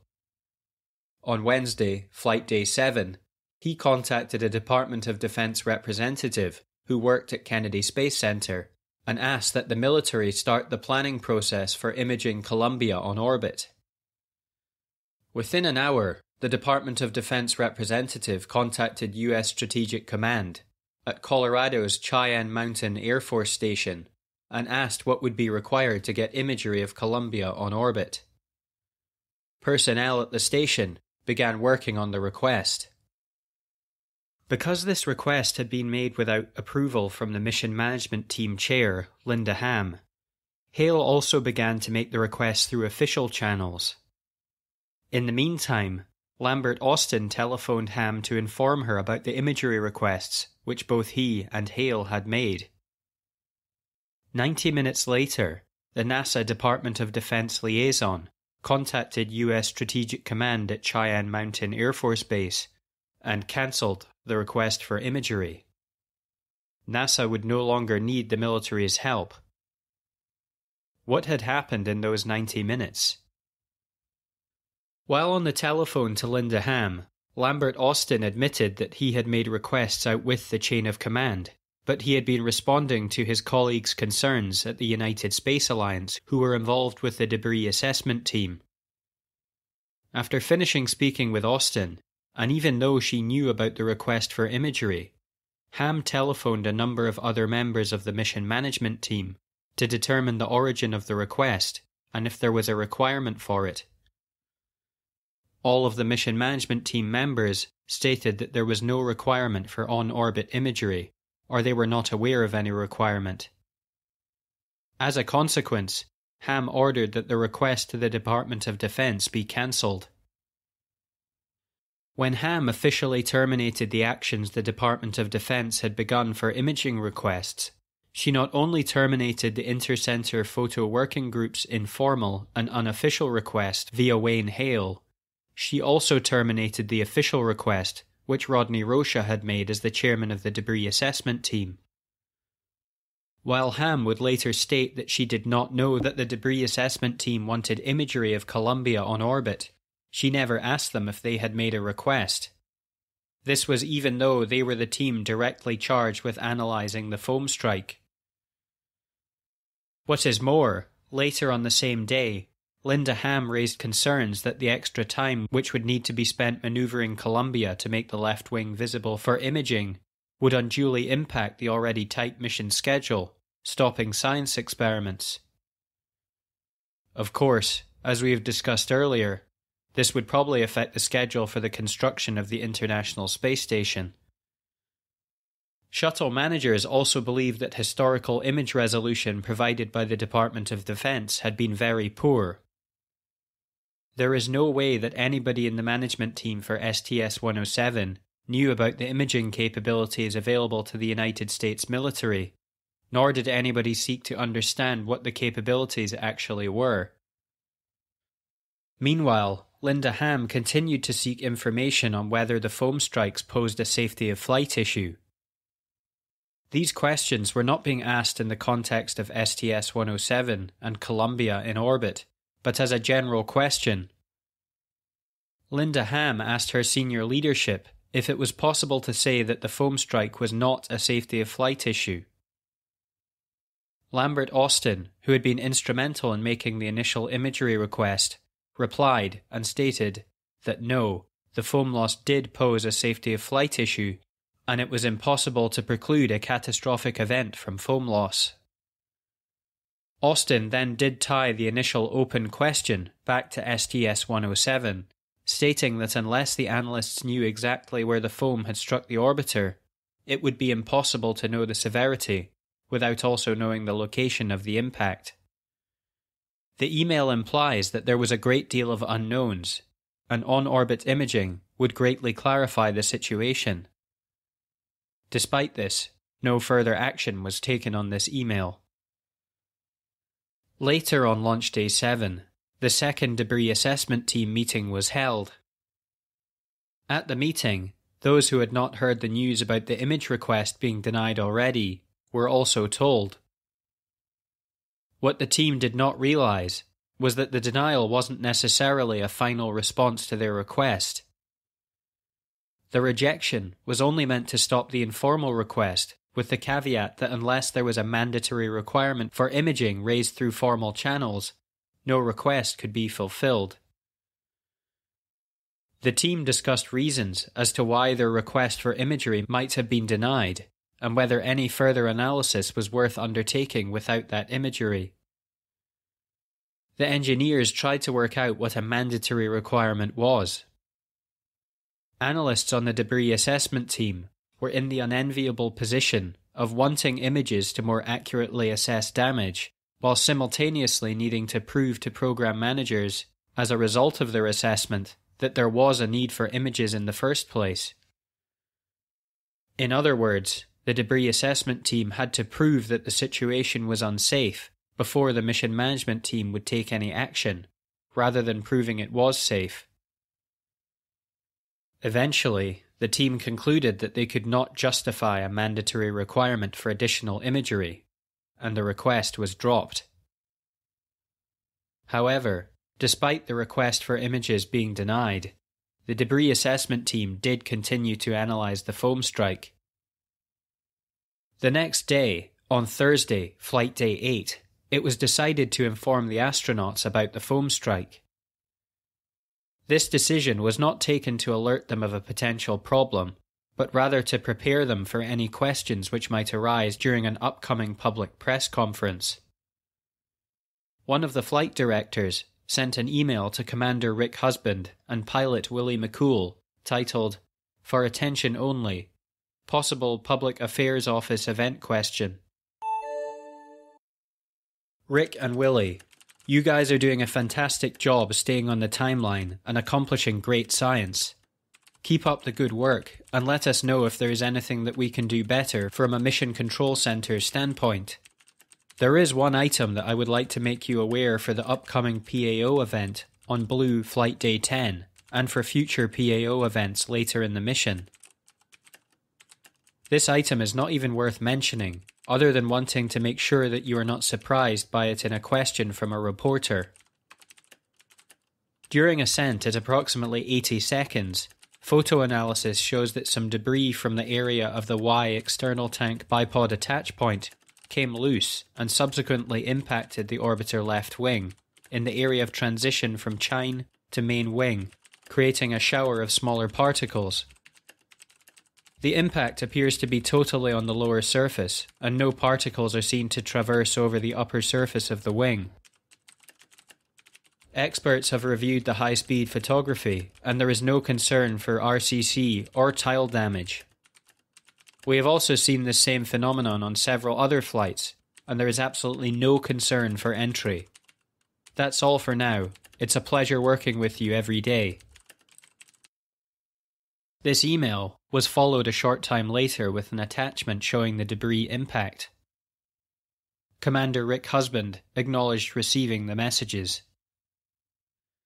The same day, a NASA representative sent an email to US Strategic Command who had been asked for imagery, effectively telling them that there was nothing to worry about and they should not entertain unofficial requests for information from NASA employees. The email states You've got mail. Let me assure you that, as of yesterday afternoon, the shuttle was in excellent shape, mission objectives were being performed, and that there was no major debris system problems identified.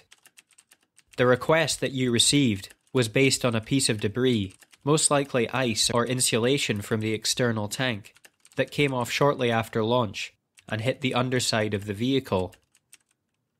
Even though this is not a common occurrence, it is something that has happened before and is not considered to be a major problem. The one problem that has been identified is the need for some additional coordination within NASA to ensure that when a request is made, it is done through the official channels. One of the primary purposes for this chain is to make sure that requests like this one does not slip through the system and spin the community up about potential problems that have not been fully vetted through the proper channels. Meanwhile, the debris assessment team, who had decided to continue their work despite the denial for ground based imagery, met for a third time. The engineers noted that there was no alternate trajectory during re-entry which Columbia could fly to reduce the heating on the suspected area of the foam strike. Engineers also presented final debris trajectory data, which included three debris size estimates to cover the continuing uncertainty about debris size. In the face of the denial for the request for imagery, the team discussed whether to include a presentation slide supporting their desire for images of the potentially damaged area of the shuttle. Many still felt that this was a valid request, and wanted their concerns to be raised at the upcoming mission evaluation room briefing, where the debris team's findings were to be presented. Eventually, the idea of including a presentation slide about the imaging request was dropped. Just prior to attending the debris assessment team presentation at the mission evaluation room meeting, the co chair of the debris assessment team, Rodney Rocha, who had made the formal request for ground based imagery, spoke to tile expert Calvin Schomburg. Schomburg had been the individual who had sent out the email to management hours after the foam strike had been reported, stating that the strike shouldn't be an issue. He had sent several emails since, stating that the repair would be a maintenance issue. During Rocha's conversation with Schomburg, Schomburg implied that the foam impact on Columbia was within the experience base and was only a maintenance issue. Rocha disagreed and argued about the potential for burn through on re entry. Calvin Schomburg then said that if there was indeed severe damage to the tiles, nothing could be done. According to Boeing analysts who were members of the debris assessment team, Schomburg had challenged them about their rationale for pursuing the ground based imagery. The Boeing analysts retorted that something the size of a large cooler had hit the orbiter traveling at 500 miles per hour.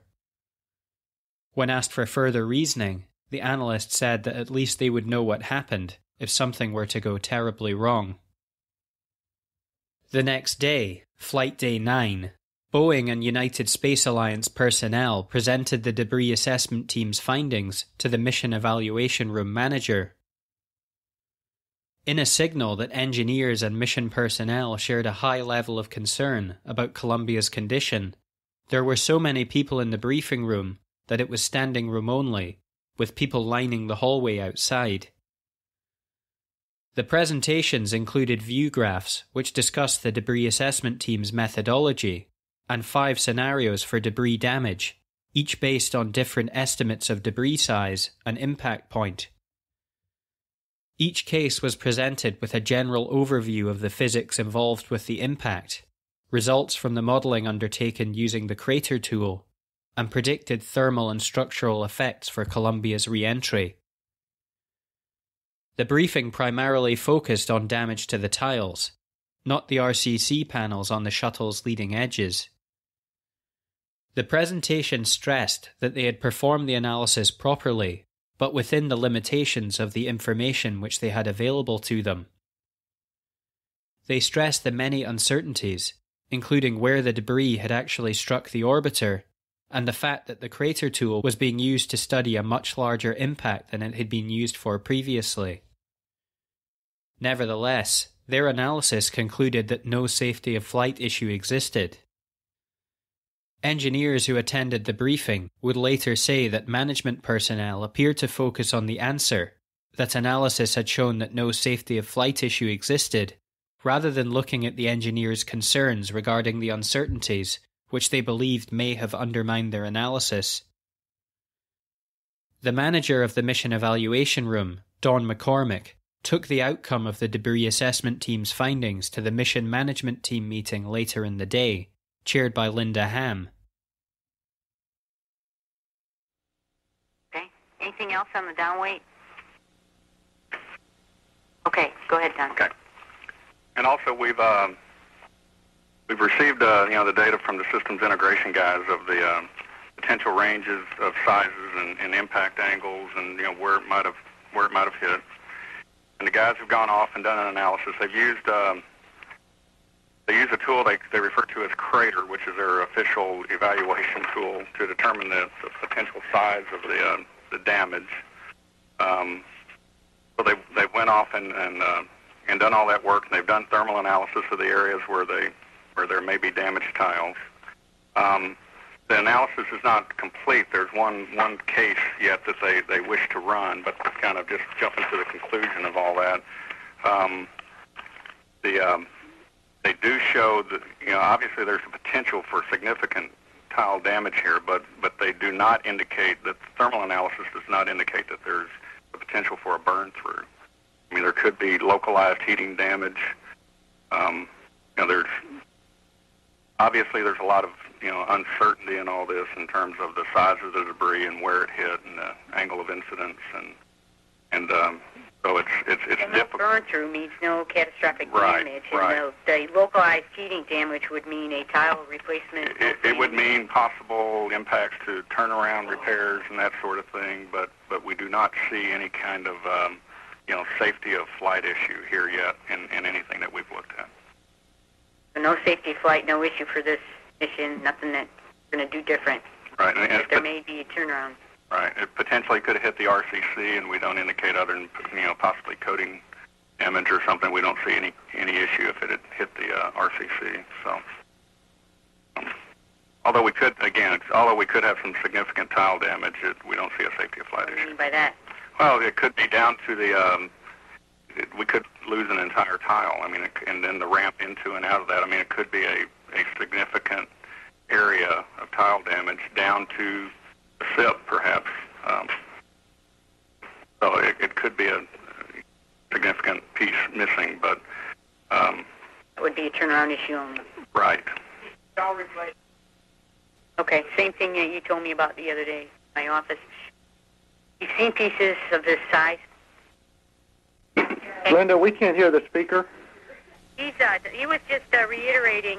It was Calvin uh, that he doesn't believe that there is any um, burn through, so no a safety flight kind of issue. It's more of a turnaround issue, similar to what we've had on other flights. Any, that's it. All right. Any questions on that? The conversation was considered so minor that it was not even included within the minutes of the mission management team meeting. As far as the mission management team were concerned, this was the end of the matter. Later on in the day, it was noted in the mission evaluation room flight log that no safety of flight issue existed regarding the foam strike and the potential damage to the thermal protection system. Between Flight Day 10 and Flight Day 16, when Columbia was scheduled to re enter the atmosphere, concern persisted amongst analysts and engineers but with the conclusion by the debris assessment team that the impact posed no safety of flight issue, these engineers could do little else to justify their concerns. After the accident, program managers stated privately and publicly that if engineers had a safety of flight concern, they were obligated to communicate their concerns to management. Managers did not seem to understand that as leaders, they had a corresponding and perhaps even greater obligation to create viable routes for the engineers and analysts to express their views. This barrier to communications not only blocked the flow of information to managers, but it also prevented the downstream flow of information from managers to engineers, leaving debris assessment team members with no basis for understanding why their request for imagery had been rejected. While this episode has focused on NASA as an organization, the decisions it would take would have very real human implications for the crew aboard STS 107. We will complete our analysis by discussing the fate of the seven astronauts of STS 107 on Columbia's final re entry into Earth's atmosphere. It is 8:44 a.m. on flight day 16 of STS 107. The Space Shuttle Columbia has just reached entry interface, the point where the orbiter begins to experience Earth's atmosphere. The astronauts of STS 107 are clothed in their ACES, or Advanced Crew Escape Suits. The distinctive orange suit is fully pressurized when the helmet and gloves are fitted and is designed to protect the crew from the depressurization of the crew module. The Space Shuttle Crew Module is the habitable area of the orbiter. There are two decks an upper flight deck, where the orbiter is controlled from, and the mid deck, where the crew eat, sleep, and live, with removable seats for launch and re entry. On the flight deck, in the shuttle commander's seat on the left, is Rick Husband, a colonel in the US Air Force and a test pilot STS 107 is Husband's second trip to space. Sitting in the right seat is pilot William Willie McCool, a commander in the US Navy and also a test pilot. Also sitting on the flight deck, immediately behind Husband and McCool, are two further astronauts. Mission specialists Kalpana Chawla and Laurel Clark. Chawla, sitting on the left, is the first woman of Indian descent to travel into space. Clark, who is sitting on the right, is currently holding a small digital camera and filming the progress of Columbia's re entry. On the middeck of the crew module sits the final three astronauts which make up the flight crew of STS 107. In the leftmost seat is Mission Specialist Michael Anderson. Anderson is serving as STS 107's payload commander and is in charge of science experiments on the Columbia. The center seat is currently unoccupied, but will shortly be used by mission specialist David Brown.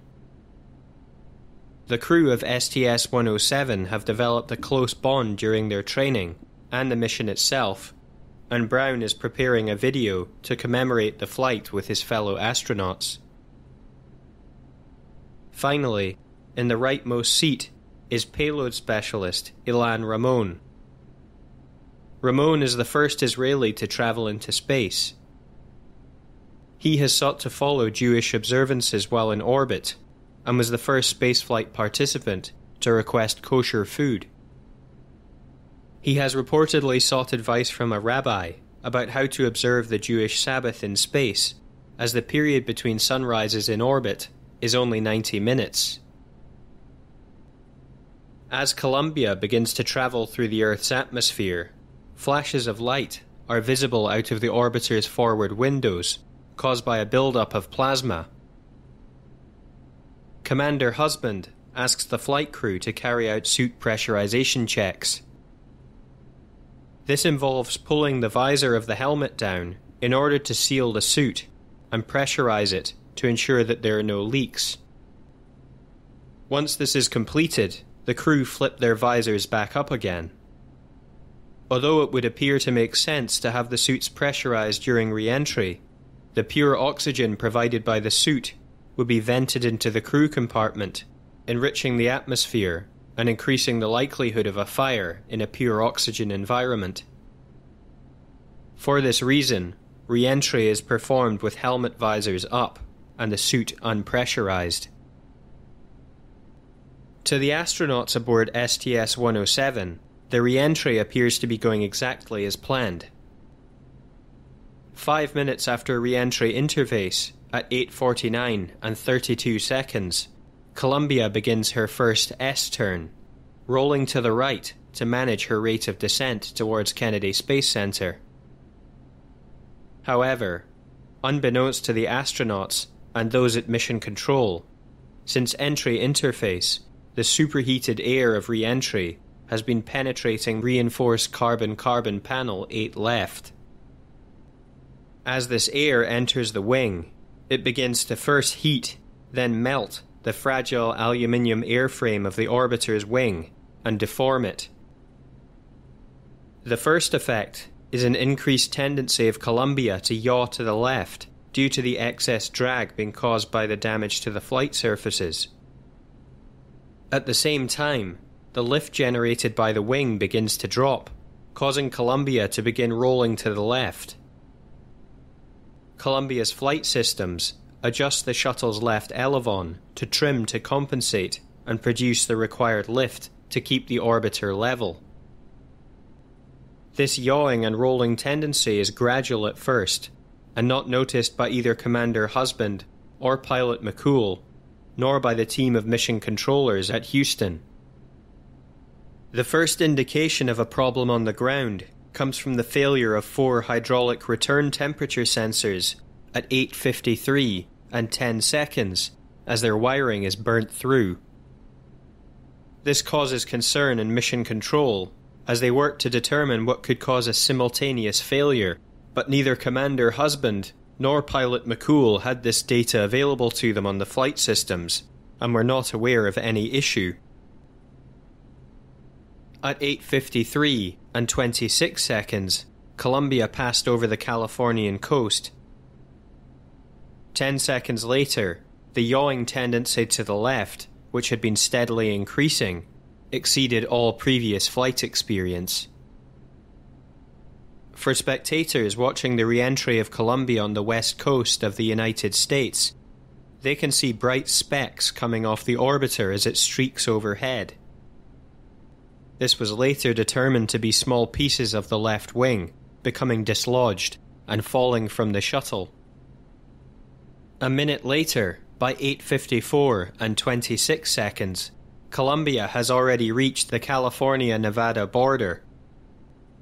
A significant piece of debris is seen to be dislodged from the shuttle's wing, perhaps weighing a few hundred kilos. At 8:56 and 30 seconds, Columbia begins to reverse its roll as part of the second half of its S turn, changing from a right wing low attitude to a left wing low attitude. It is at 8:58 that the situation begins to unravel. The left wing has now been severely damaged. The orbiter's tendency to roll and yaw to the left has been increasing gradually and was countered by the use of left elevon trim. Suddenly, as the wing's structure begins to fail, the yaw and roll to the left increases rapidly. The trim required to keep the orbiter on its desired trajectory increases to match. At 8:58 and 39 seconds, the crew of Columbia are made aware of a problem for the first time. A tone sounds, drawing the flight crew's attention to the backup flight software monitor. The fault message indicates a loss of pressure on the left main landing gear tire. These indications are also sent to the flight control team in the Mission Control Center. Commander Husband and Pilot McCool call up the fault page for the messages and review the available information. As they do so, three further fault messages appear, indicating further loss of tire pressure on the left main landing gear. The failure which Husband and McCool see is not unfamiliar to them, differing only slightly from one of their training exercises. One of the failure scenarios the crew practiced during training was a circuit breaker trip that resulted in one half of the tire pressure sensors being disabled. A circuit breaker trip would disable some sensors for the tires, but this failure involves all tire pressure sensors on the left main gear only. The crew attempt to contact Mission Control at this point, but their message was not received, although it can be assumed the flight crew wished to discuss the tire pressure warnings. 30 seconds after the first tire pressure warning, another fault becomes evident. The position indicator for the left main landing gear changes from displaying a status of up to what is known as a barber pole, a series of red and white bars. This has been caused by the left landing gear lock, showing that the left gear is extended, while at the same time the landing gear door is closed.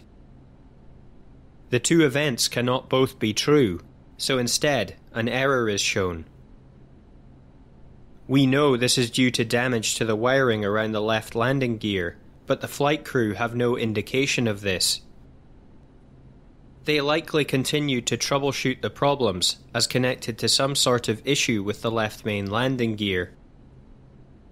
At 8:59 and 29 seconds, as Columbia's left wing continues to deform, the orbiter's tendency to yaw and roll could no longer be countered by the elevon trim alone. With insufficient aerodynamic control authority to assist the elevons, Columbia's flight controls call on the orbiter's reaction control system. These small thrusters are designed for attitude adjustment and course correction and have been pulsing steadily throughout the shuttle's re entry. Now, Two of these thrusters begin firing continuously in an effort to keep the shuttle from yawing and rolling further to the left. However, to the flight crew, there was no obvious indication that this was taking place. Only a small light illuminates on the control panel. But the next warning will be impossible to ignore. The flight crew receive a response from Mission Control and Columbia Houston, we see your tire pressure messages and we did not copy your last. Commander Husband begins to reply. Roger. Uh, this is the last communication from Columbia. Telemetry data to the ground stops simultaneously. Suddenly, Columbia's master alarm begins sounding. This has been caused by the failure of one of the flight control system's four channels. For redundancy, the orbiter uses four channels to control and monitor the position of its flight surfaces. But as the left wing is steadily damaged, the sensors for the elevon position on Flight Channel 4 have failed. The flight control system automatically excludes this channel from control of the orbiter, but it has triggered the master alarm warning the flight crew of the situation. With yaw and roll continuing to develop, the orbiter's flight control system begins firing the final two reaction control thrusters to try and keep Columbia on course.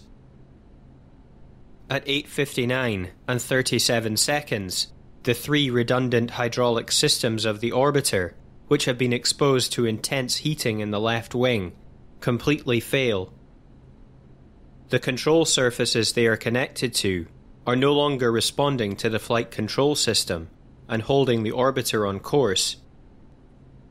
Instead, with no hydraulic pressure to hold them in place, they begin to float in the airstream, gradually drifting up.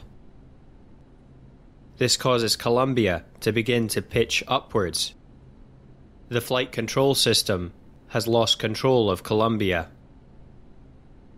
Still banked to the left as part of her S turn, as Columbia pitches up, she begins to expose more of her belly to the oncoming airstream, causing the drag profile of the shuttle to build.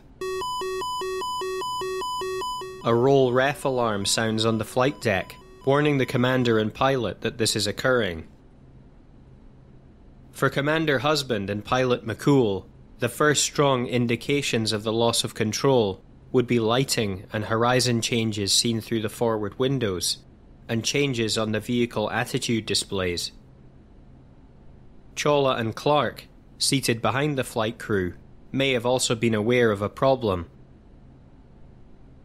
It is also likely that those in the middeck were aware of an issue, as Mission Specialist David Brown began to strap himself into his seat. Now, having pitched up, with its belly in the direction of travel, the orbiter starts a slow, flat spin, with its nose alternately pointing skywards and earthwards. This causes the astronauts to be pushed into their seats by the deceleration, while alternately swaying from side to side. The situation is deeply disorienting. One of the flight crew inadvertently bumps the rotational hand controller, which is the shuttle's flight stick used to control its attitude this is quickly corrected, and the digital autopilot is re engaged. At the same time, the other flight crew member acknowledges the error messages appearing on the shuttle's screens. Pilot McCool, seeing that the orbiter has lost hydraulic pressure, believes that the APUs supplying that pressure may have failed. He begins taking steps to restart APUs 2 and 3 in an attempt to restore hydraulic power and bring the orbiter back under control. What he cannot know is that it's the hydraulic lines themselves which have failed, not the APUs. There is no chance of restoring hydraulic pressure. Columbia stays in this spin for 30 seconds. While the flight crew attempt to bring Columbia back under control, the forces acting on them and the orbiter have been steadily building. While the aerodynamic forces are within the structural limitations of the orbiter, there is another problem the heat of re entry. Areas of the shuttle with no thermal protection system are now being exposed to heat they were never designed to withstand as the shuttle spins. While the orbiter is in its flat spin, it is also rolling alternately from side to side, exposing the fragile sides of the orbiter to this superheated air. The first structure of Columbia to fail is her payload doors, steadily torn apart by the heat and aerodynamic forces the orbiter is experiencing. With the payload doors destroyed, the superheated air can now penetrate the vulnerable interior of the orbiter the next weakest spot the air encounters is the starboard sill joint gusset, a structural component designed to transfer the weight of the crew module to the main body of the orbiter. As Columbia rolls alternately left and right, the gusset, which was never designed to withstand the temperature of re entry, is gradually weakened. The combination of the increasing temperatures on the gusset and the aerodynamic forces destroys it. With this major load bearing component of the shuttle's forebody destroyed, the weight of the crew module and the forebody of the orbiter transfers to Columbia's fragile skin. This skin begins unzipping from starboard to port, like a tin can being opened.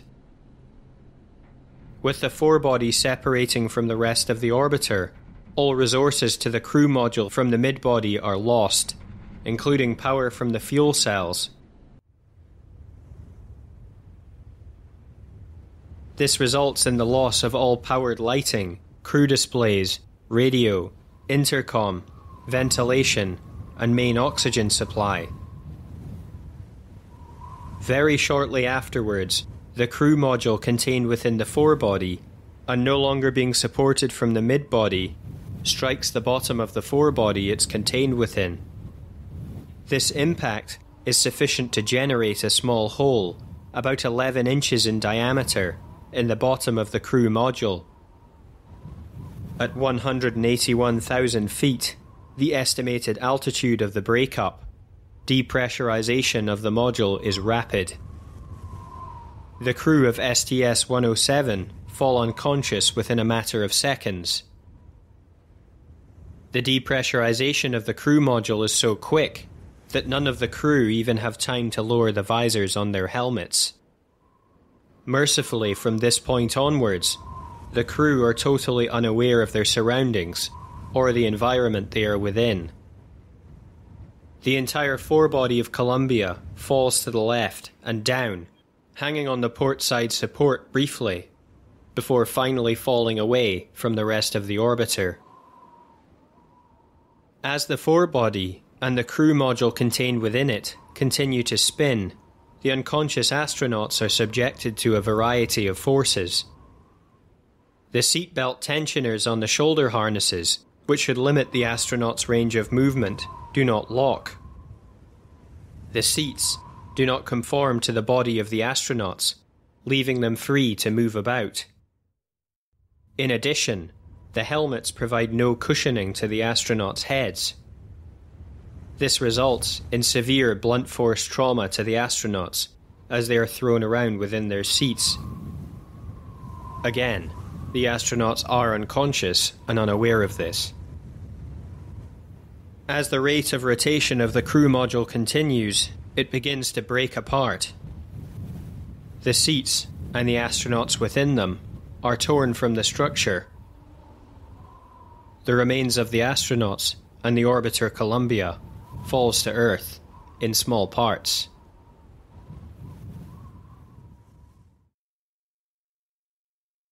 The Columbia Accident Investigation Board concluded that the physical cause of the loss of Columbia and its crew was a breach in the thermal protection system on the leading edge of the left wing. This was caused by a piece of insulating foam which separated from the left bipod ramp section of the external tank at 81.7 seconds after launch and struck the wing in the vicinity of the lower half of reinforced carbon carbon panel number 8. During re entry, this breach in the thermal protection system allowed superheated air to penetrate through the leading edge insulation and progressively melt the aluminium structure of the left wing, resulting in a weakening of the structure until increasing aerodynamic forces caused loss of control, failure of the wing, and breakup of the orbiter. This breakup occurred in a flight regime in which, given the design of the orbiter, there was no possibility for the crew to survive. The organizational causes of the accident were rooted in the Space Shuttle program's history and culture, including the original compromises that were required to gain approval for the shuttle, subsequent years of resource constraints, fluctuating priorities, schedule pressures, mischaracterization of the shuttle as operational rather than developmental, and a lack of agreed national vision for human spaceflight. Cultural traits and organizational practices detrimental to safety were allowed to develop, including reliance on past success as a substitute for sound engineering practices, organizational barriers that prevented effective communication, lack of integrated management across the program elements, and the evolution of an informal chain of command and decision making processes that operated outside the organization's rules. The board released a raft of recommendations, some of which it stated must be completed before the space shuttle returned to flight. Technical recommendations included eliminating foam shedding debris from the external tank, improving the orbiter's resistance to debris strikes, improving imaging capabilities of the shuttle during launch to better identify debris strikes, and undertaking inspections of the shuttle post launch for debris damage. From an organizational perspective, the board's recommendations included adopting and maintaining a shuttle flight schedule that was consistent with available resources, training to help mission management team members better deal with scenarios such as the debris strike again, and similar to an independent safety authority had been established following the Challenger disaster, establish an independent technical engineering authority that would be responsible for technical requirements and all waivers to them. It is unsurprising that the Space Shuttle fleet was immediately grounded and the program paused following the loss of Columbia. The previously critical date of International Space Station US core complete was forgotten. The Space Shuttle was the only vehicle capable of delivering the new components of the ISS. Resupply of the ISS crew would be undertaken by the unmanned and disposable Progress spacecraft. Crew transfer would be undertaken by the Russian Soyuz, which had first flown in 1966. In the meantime, NASA looked to implement the changes recommended by the Accident Investigation Board. It would be more than two years later, on the 26th of July 2005, that the Space Shuttle would launch again. STS 114 was the first return to flight mission for the program. Flown by the shuttle Discovery, the mission successfully delivered supplies to the International Space Station. However, one of its main objectives was to test the safety improvements made to the shuttle program following the loss of Columbia. Unfortunately, despite the redesign of the foam application to the external tank, foam was shed once again during launch. A piece of foam, approximately half the size of what had struck Columbia, was shed from the external tank, but thankfully did not strike the orbiter. Once the shuttle had rendezvoused with the ISS, three spacewalks were undertaken to demonstrate the ability of astronauts to successfully inspect and repair the shuttle in orbit. The crew also tested a remotely operated arm, which could be used to inspect the orbiter while on orbit without having to undertake a spacewalk but the loss of foam on launch would cause the shuttle fleet to be grounded for a further year. The second return to flight mission would launch as STS 121. With this mission considered a success in demonstrating the new safety measures implemented, the Space Shuttle could return to full service. But even before the Space Shuttle had returned to flight, its days were numbered. Almost a year to the day since Columbia's final launch, January 14, 2004, President George W. Bush announced the vision for space exploration. The vision called for the space program to complete the ISS by 2010, retire the space shuttle by 2010, develop a new crew exploration vehicle by 2008, and conduct its first human spaceflight mission by 2014. The vision would explore the moon with robotic space missions by 2008, with crewed missions to follow in 2020. Delays in the construction of the International Space Station led to the Space Shuttle's retirement being postponed until 2011, with Atlantis undertaking the final mission as STS 134 on July the 21st, 2011. The Space Shuttle is a contentious part of NASA's history, seen by some as a step backwards in NASA's goal of exploring space, or as a dangerous vehicle with a high failure rate. It also never achieved what it was designed to do, which was to make reaching low Earth orbit cheap and routine. Many of the tenets that justified the Space Shuttle's creation turned out to be faulty, such as the notion that a reusable vehicle could be cheaper when disposable supply craft were capable of resupplying the ISS, and single use rockets could deploy satellites at a lower cost and much more safely. Nevertheless, the technical solution to the problem, which would become the Space Shuttle, is an engineering marvel. It is important to remember that when NASA first proposed the Space Shuttle, it was to be the foundation upon which the agency conceived the construction of space stations within low Earth orbit, permanent outposts on the Moon, and initial journeys to Mars. Now, nearly 50 years later, those visions appear to be becoming a reality.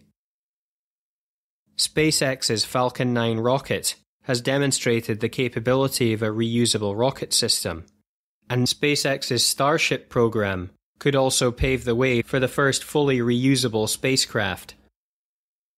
In addition, NASA's Artemis program is dedicated to placing the first woman and the next man on the lunar surface with an established orbital outpost. Many of the components which made up the Space Shuttle will also fly once again as part of NASA's new Space Launch System, or SLS. The solid rocket boosters of the Space Launch System are enlarged versions of those which flew on the Space Shuttle. Most interestingly, the engines are the same RS 25 engines which the Space Shuttle used. Not merely the same design, but the actual engines which were used by space shuttles in orbit. In this way, at least, the space shuttle will continue flying. Thank you for listening to the latest episode of Inside the Black Box. Once again, I am very, very grateful for your patience while I prepared this episode. Your support and encouragement is deeply valuable for me while I continue this project. Please continue to follow the podcast at ITBB Podcast. That's India Tango Bravo Bravo Podcast. There is a huge amount of media associated with this episode which I would like to share with you. Until the next time.